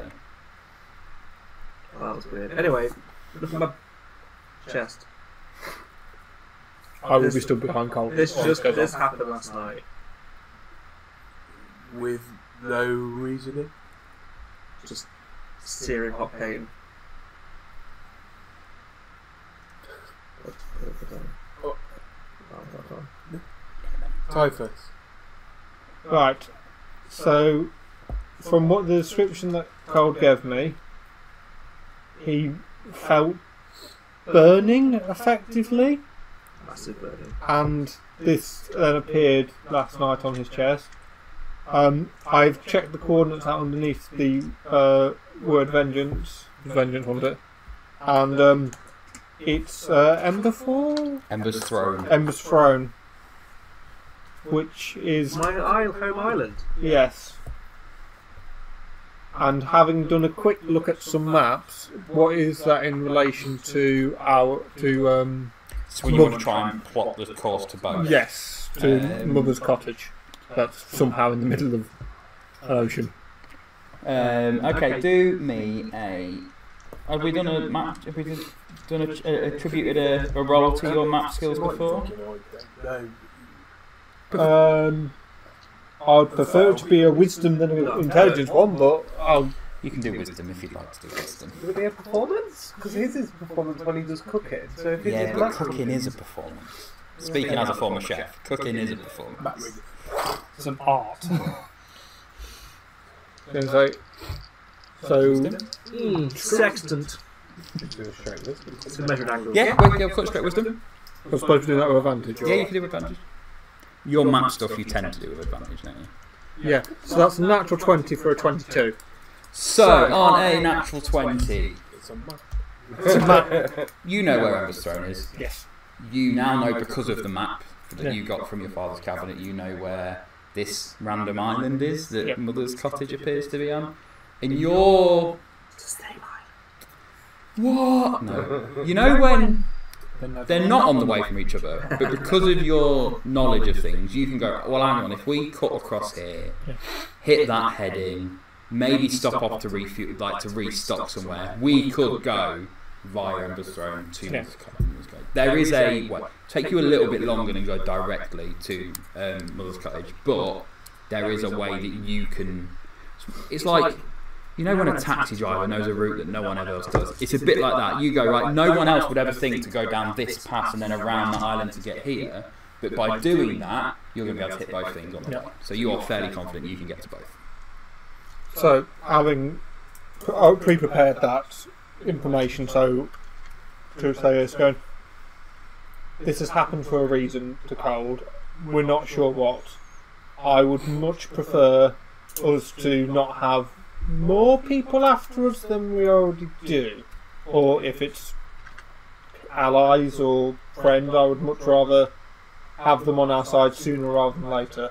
So, as important, again, holding up the spyglass, going, important as this is, I would much rather take a quick couple of day detour and find out what on earth is going on with that. Because no, uh, nothing, according to Cauld, nothing was anywhere near him and nothing was nearby.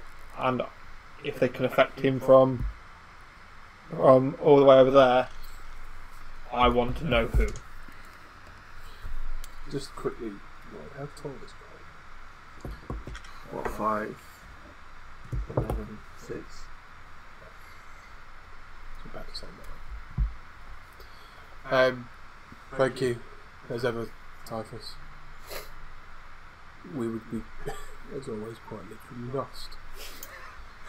if it wasn't for you. You are the glue that holds this team together. Yeah, Because of the maths. because the maths. Because the maths.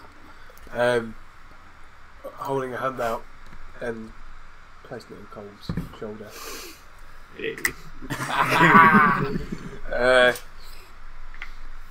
I fully appreciate what Typhus is saying, and I think ultimately, Cauld, the decision rests with you. We've found a way, Typhus has found a way to manage our journey and incorporate going back home for you. Is this something you wish to pursue? As captain, captain, this is your decision. I feel this dynamic could go on for a long time. You are the kindest of us all, and you almost certainly think of yourself last. I ask you for once to put your feelings and your thoughts at the forefront of your actions and at the forefront of your mind. Well, I'd be lying if I said I wasn't a little bit curious. It is time. Yeah, it's time. Okay. Then, Typhus, please plot us the most efficient route. We'll be dealing with Cauld's issue first. And then we'll be heading to Liver's team. Just as a quick question, who here has been to Mother's Teeling? Because obviously I have. I know Cauld hasn't. Only I haven't. Only it's me. just. Only Cool. previously.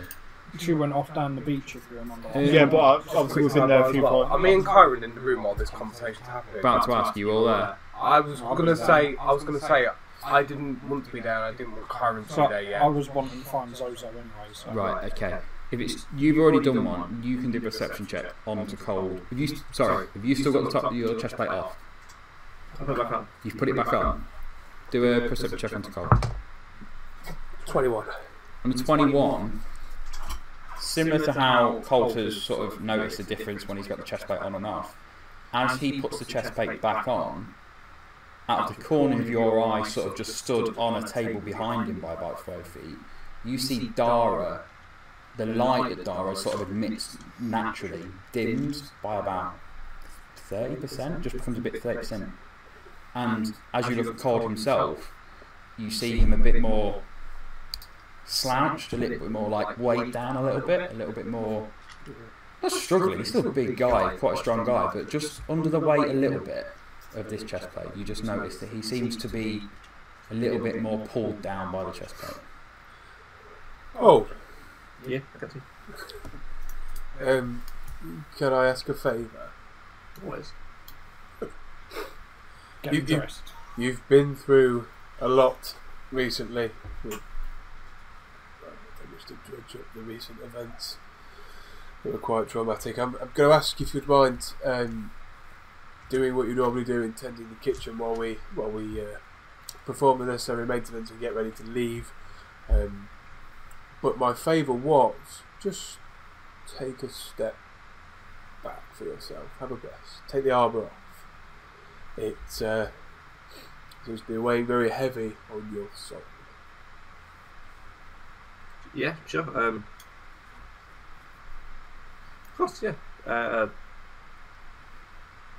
take it off and F- f- Find somewhere to store it, Cauld. I'm not saying get rid of it. Um, just, I think you need a break. On your 21 perception, when he takes it off, Cauld, um, Dara's light comes back. She's glowing brightly, happily. Not quite white, burning hot light, but there's a little. She, she's very bright and very confident. And as he takes it off, you notice it's Cauld, without noticing himself, carries himself a little bit higher, a bit stronger, a little bit more. Not quite tensing, but a little bit more of an imposing figure when he's taking it off. Like when you've been hitting the gym too much. I've been enkindled. Yeah, thank you. With it off, have you got anything else on? You're now bare chested. I've got my shirt. Can you still see? You got with it off. You can also then do an insight check into the mark itself. That I mean, he's bit- seen it. It's not visible. 18. On an 18 insight check, as you look at this, you've never seen anything like it. But given the information about um, what you got on your perception check, you noticing the difference in Cauld and Dara when they have chest plate on and when he's not got the chest plate on. You notice that when he takes the chest plate off, not only does he hold himself a bit more, it looks less like a burn and more like a almost like a tattoo. It's still burnt into him, but it's more healed. It's more stronger, it's more powerful, it looks like a stronger mark as Cauld is now holding himself better without his armour on.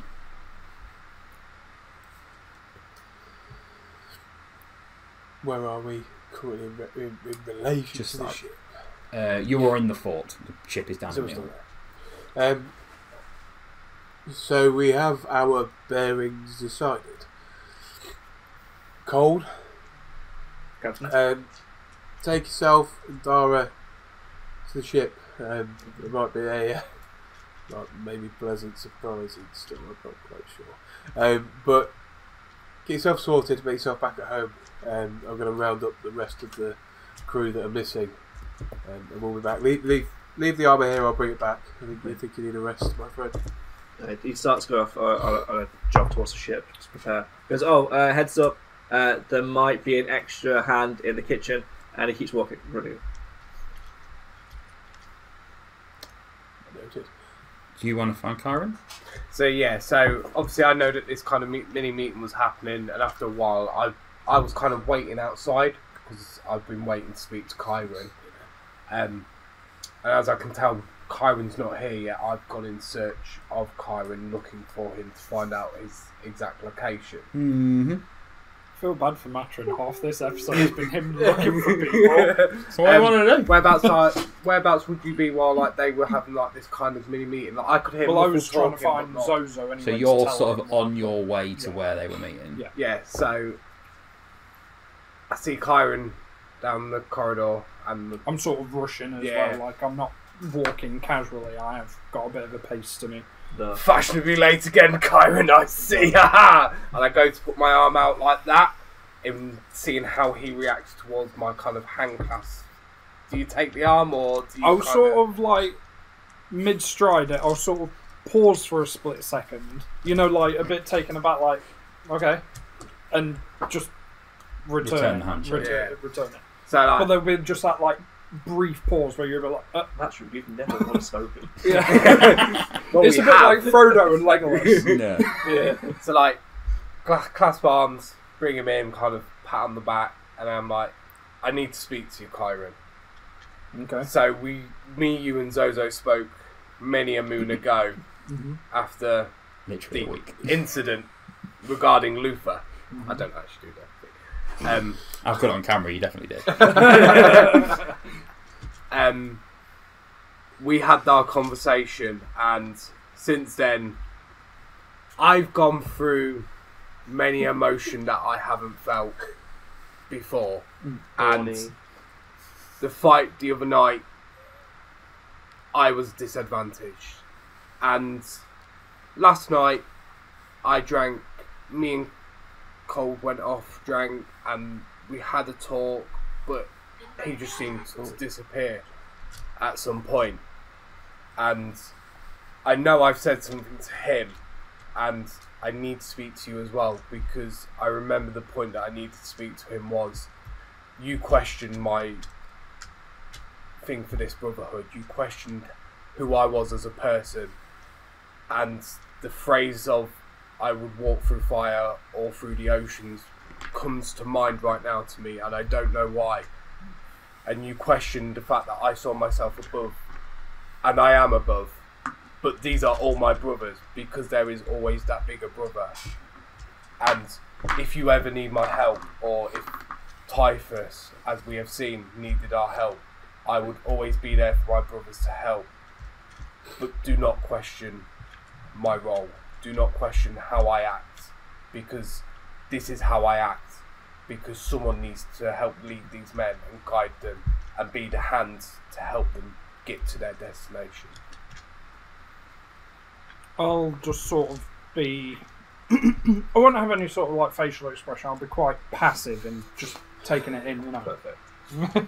Just dead behind the eyes. I don't give a fuck. And I'm gonna. Uh, Chiron's gonna sort of say to him. Now, yes, I know we've had our uh, differences, and in a way, I have over time noticed you have uh, your character has changed to a degree. Still, probably not as far along as it could be, but you are going in the right direction that I might even tell you that, you know, you are a decent person. That you're not just acting on your own self interests. And, um, I also realise I never got the opportunity to thank you for helping me out in our uh, fight with uh, Lady Fairbrook. That uh, bastard with the bullets caught me off guard a bit. But um, thanks to you and your uh, unicorn, you uh, got me out of that scrape, thankfully. So I do appreciate it.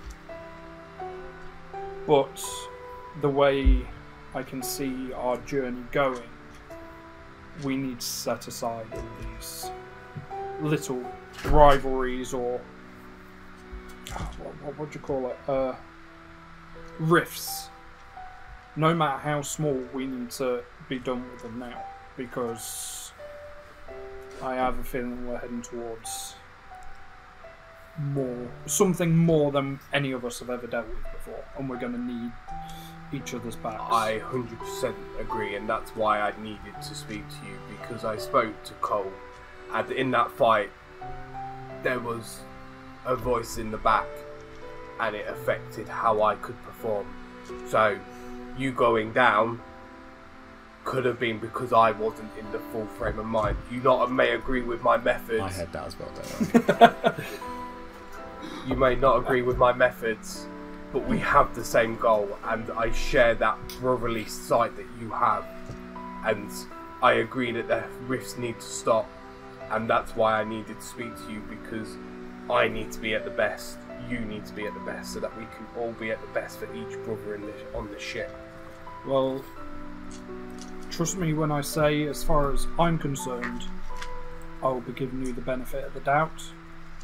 I won't be judging or second guessing unless you give me very good reason to. Going forward, we're on good terms. So I go to put my arm back out, clasp it in, and then go. And if you need anything, come see me, and I'll always help. And the same then- goes to you. And then I'll follow with Chiron into the room to go speak to Zho-Zho because obviously I was meant to be in the meeting. Yeah. As it ends, me and Typhus move away from the door where we're listening. Go, fuck them! You've got a glass. Typhus just sud- suddenly there with a book upside down. so I think the Just that situation smart. as I, kn- I see it now, you are all in the same room. I know Cauld is about to leave to go to the ship, Mhm. um, but for the first time properly since that night you had the big battle and the big meeting, you are now all in the same room. I know that Typhus wishes to speak to his father before you depart the port. I know you would like to speak to Zho-Zho. Is that a pressing matter you wish to bring up? So you no, can- it's to update so you could, him on. yeah, you could speak to them, him on ship on the way at a later date. So, is there anything you guys need to do as a group around the table, as characters around the table together now? short, short of explaining, briefly going o- Yeah. over as saying, because I haven't actually explained to anybody what I actually saw Mm-hmm. in the, um, other, other than saying we need to go see Mother. Yeah. So I explain, I give the, these guys a brief, because I felt it was inappropriate to do during the Yeah. main council meeting, a briefing of what I saw, as well as um, with these two, a lot of the uh, a much abridged version of what happened to Cauld, basically saying somehow a mark has appeared on Cauld's chest. It has these coordinates, which is to um, Ember's throne, um, unless pointing towards us three. We have no objections of going there prior to um, going to see Mother. Just and reiterate my point of going. I would rather not have more enemies chasing us. Deal with this before Cool. we move on to the bigger thing. Yeah, Yeah. So, as Yeah, well, we don't want. I'll, I'll Yeah. just sort of put in like we don't want to be uh, uh, facing multiple fronts, kind of thing. You know, split attentions. very, very sensible. Cauld, that was a great drinking session last night. Haha. I'm on the ship. I thought you were still in the room. No, is there a No, delay? skip Yeah, Oh, it's is it really gone? Zho-Zho told him to. So, with nothing else to do, It's between the around the ship. table. But I think, I think bar, everyone's sort of catching up. Hmm. Typhus has done his bit. Zho-Zho will, you know, is going to infill these two. Going off what we know, we're going to go to. Uh, uh, the, the, the question was posed to Cauld, um, as deemed that it should be. We're going to his homeland first to deal with this issue. Typhus has come up with a way to make it to, to make it more negotiable to do both. Mm-hmm. Um, just before anything else, just sort of just to tie off that loose end of Cauld's armour, Zho-Zho is going to say to Typhus, take the armour. I know you're doing your bits with the maps and whatever, you do a great job. Take it off with you somewhere, study it, have a look at it, get Matryn to smash it a few times, see if anything happens. It, it's yours to have a play with because I'm not sure. It, there's something off with it. Well, I'm assuming Zho-Zho would have mentioned what he noticed.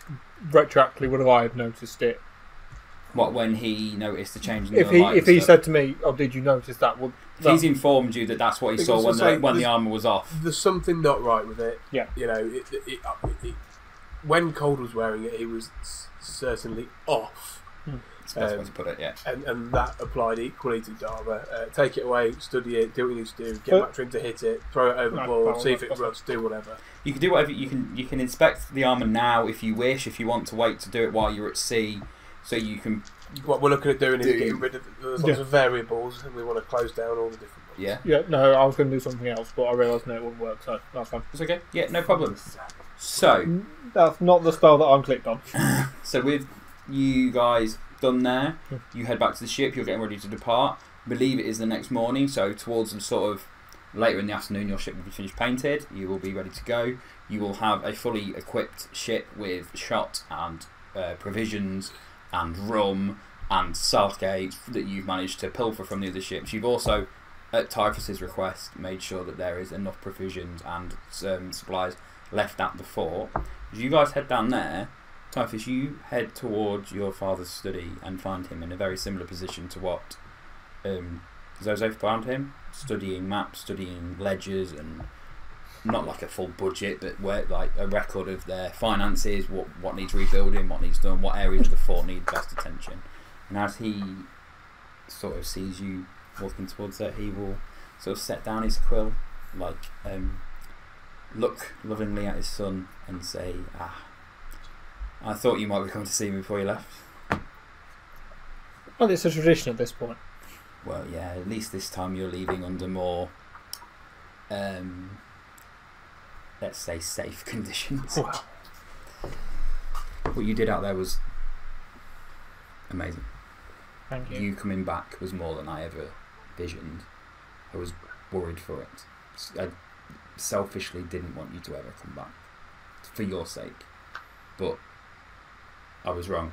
Coming back was always the best thing you could have done. Part of me never wanted to come back. I never wanted to see her again. But if I had known what horrors befell this place because of my actions, I probably would have stupidly been back sooner and would have been in her clutches. So, by whatever powers may be, stars aligned and I was back at the right time. At the right time. I'm just Yes, sorry sir. that I'm just sorry the costs that had. Some costs need to be paid, son. He sort of giggles at the word son. He sort of chuckles to himself. I owe you an apology. I should have been honest with you the minute I thought you would be able to understand, which was years before yesterday.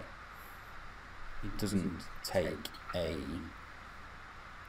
genius doesn't take someone like yourself to point out that and he pauses, sort of lumping his throat. A bit like yourself earlier when you weren't quite weeping but you were definitely moved. And quietly he will say it doesn't doesn't take a genius to realise you're not my son. Nor are you your mother's son however counterintuitive that sentence sounds. Um, I'm not. I was just going to say that, if anything, I hope that when you were removed from Rockcliffe Bay the first time as an infant, maybe we were able to offer you some modicum of a better life, which has led you to be the person you are. You're the person who taught me how to be a man. As far as I'm concerned, you're my father. At that, he starts like tears forming in his eyes. It streaks down. I well going for a hug. I'm assuming he stood in front of his desk at this point. Yeah, he's walked around to speak to you. Um, while doing that, and hoping he's in a somewhat state of distraction, I'm going to try and take the bundle of letters that I had that I never sent to him, Yeah. detailing all my adventures and whatnot, and put it on his desk. Um, can you give me a slight hand check? Of course, I can.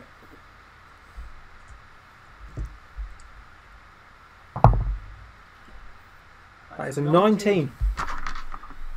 I haven't got his uh, sheet. But on a natural seven, he's not going to have a No. plus twelve to perception, is he? Um, yeah, you successfully managed to put them on his desk um, without him noticing. Um, he was sort of leaning back from the hood. Sort of, you know how guys tend to do when they've had an emotion and sort of bat his eyes down, go right. Listen, that's that's that's enough. sawdust in this place. No. Reconstruction, understand. Yeah. Um, probably doesn't need saying, but it seems cruel to be away from you again so quickly. But I'm in no position where I can accompany you, nor am I ever going to ask you to stay. In this instance, I hope one day that you will come back and call this place home again. But I'm aware, any sort of motions to the, the spyglass on your hip, that destiny is a bigger calling than seeing your old man. But um, maybe a little something to make up for not being there when I needed to be. And he will sort of reach around his desk, somehow not seeing the pile of letters you've just put there, uh, and take a sort of like velvet box out of his desk and hand it over to you. I will open it up and do it. You open it, and in a crimson sort of box on sort of crimson, like a velvet, like cushion in the middle, is a Shadowfell shard. And say Shadowfell shot. Shadowfell shard. And say, um, maybe you could put this to better use than I could.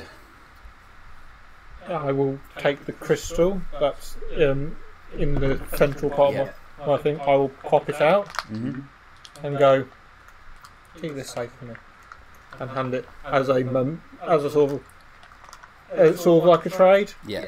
and then plop that in place. into the thing. He will take your crystal, and then on his desk he has like like a stand that's got like a little dagger on, like a letter opener, and he will just pick it up and ping it into a wall. And it's like, as you see it sort of pings into the wall, you will look up and see the portrait of your mother that Matryn tried to hit yesterday or the day before, and it pings straight into her forehead. He will place the, the crystal that you had on on that stand that he had in pride of place on his desk in front of him. He will sort of compose himself again. Um, are you guys leaving now? Uh, in a couple of hours, well, I think we've just got the last few preparation, and I, ideally I'd like to see um, Critchley. Critchley just before, He, if you if you know where, where he is. yeah, he, um, yeah, certainly. Um, let me show you. Yeah. And he will lead you down out of his, um, out of his study. You'll go down like a spiral staircase or two, and in a, it's not quite a dungeon, sorcerer's dungeon, because there's quite a lot of light coming in, but it is like the lowest point of the castle. That's not, sorry, not quite at like where the Yeah. where your mother's tied up still. Yeah. Well, if she survived the night, um, but in like a, he's got like a underground sort of layer Lab. bit where he is in there, uh, and he will big smile as he sees you approach and walk over and without even stopping to talk, bring you in for a big embrace and a hug and like, perfect, perfect boy, back at the right time. I told him it would happen. And your father will just sort of give you a nod and head out and leave you with Critchley. I will turn to him going, This is not a goodbye. This is a see you later. Certainly. And he will sort of take go to say something, but then stop and then leave out and head.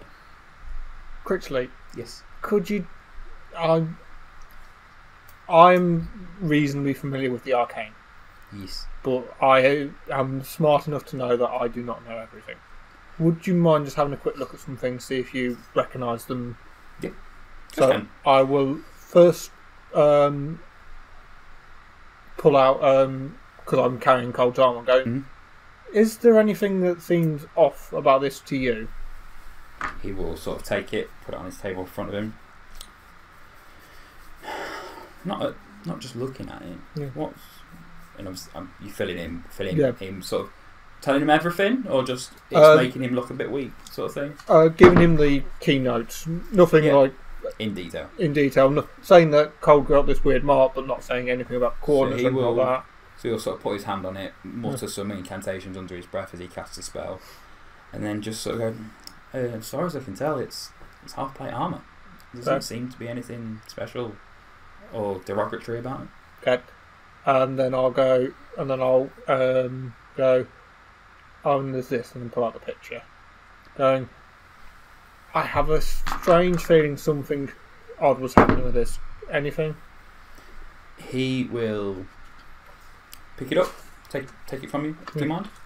Take it from you and have a look, and sort of again as he's sort of looking at it, flips it over, flips it around, looks at it from different angles, upside down, always muttering under his Yeah. breath the, the incantation, going over and over and over to himself, and goes, hands it back, Yeah. staring off into the middle distance. That incantation's still going, and then he sort of, um, ask mother. Okay. Can you do me a perception check while you're on it, please? Of course, can.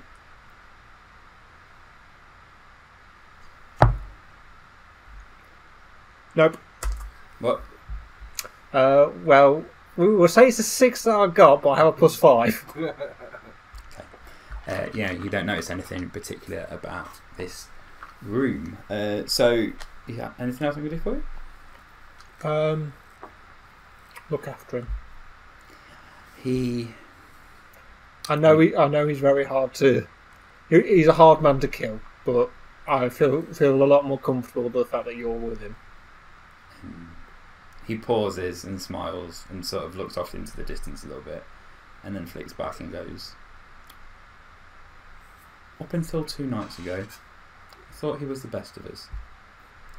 And then his son returned. I'll look after him.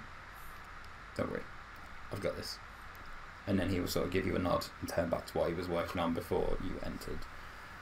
And you head into the ship with everybody else. I will go join the rest of my crew. You head to the ship with everybody else. You set the, the first he- bearing you need to head out Yep. to sea.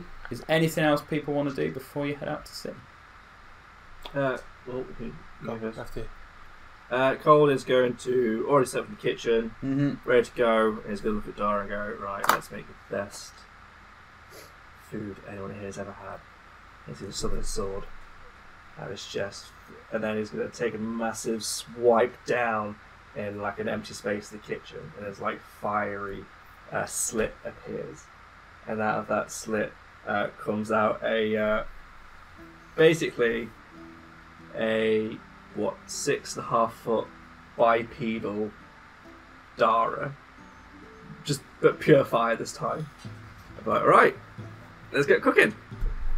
And I've summoned fire elemental, and that's going to help me in the kitchen from now on. Um, as you draw your weapon Uh-huh. and you sort of go to cast a spell, do me a perception check. And you can still carry on and do the spell. It's not going to affect that. But in that moment, before you make the big Natural slash, twenty. For oh, for a nineteen.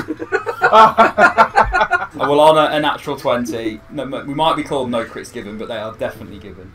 You draw your sword in. You've not got your armour on.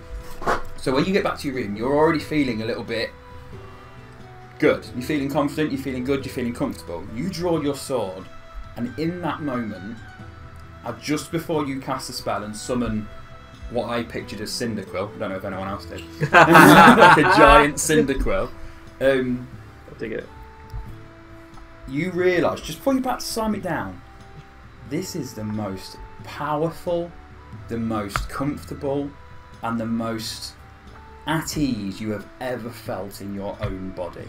You feel nigh on indestructible in this moment, and then you cast your spell and you summon your fire elemental. Um, I'm going to tell you, Lloyd, on a, nat- Shit. on a natural 20, perception after we have had everyone we can think of look at the mark on your chest. When you are not wearing armour, Uh huh. your base AC will be 19. Nice.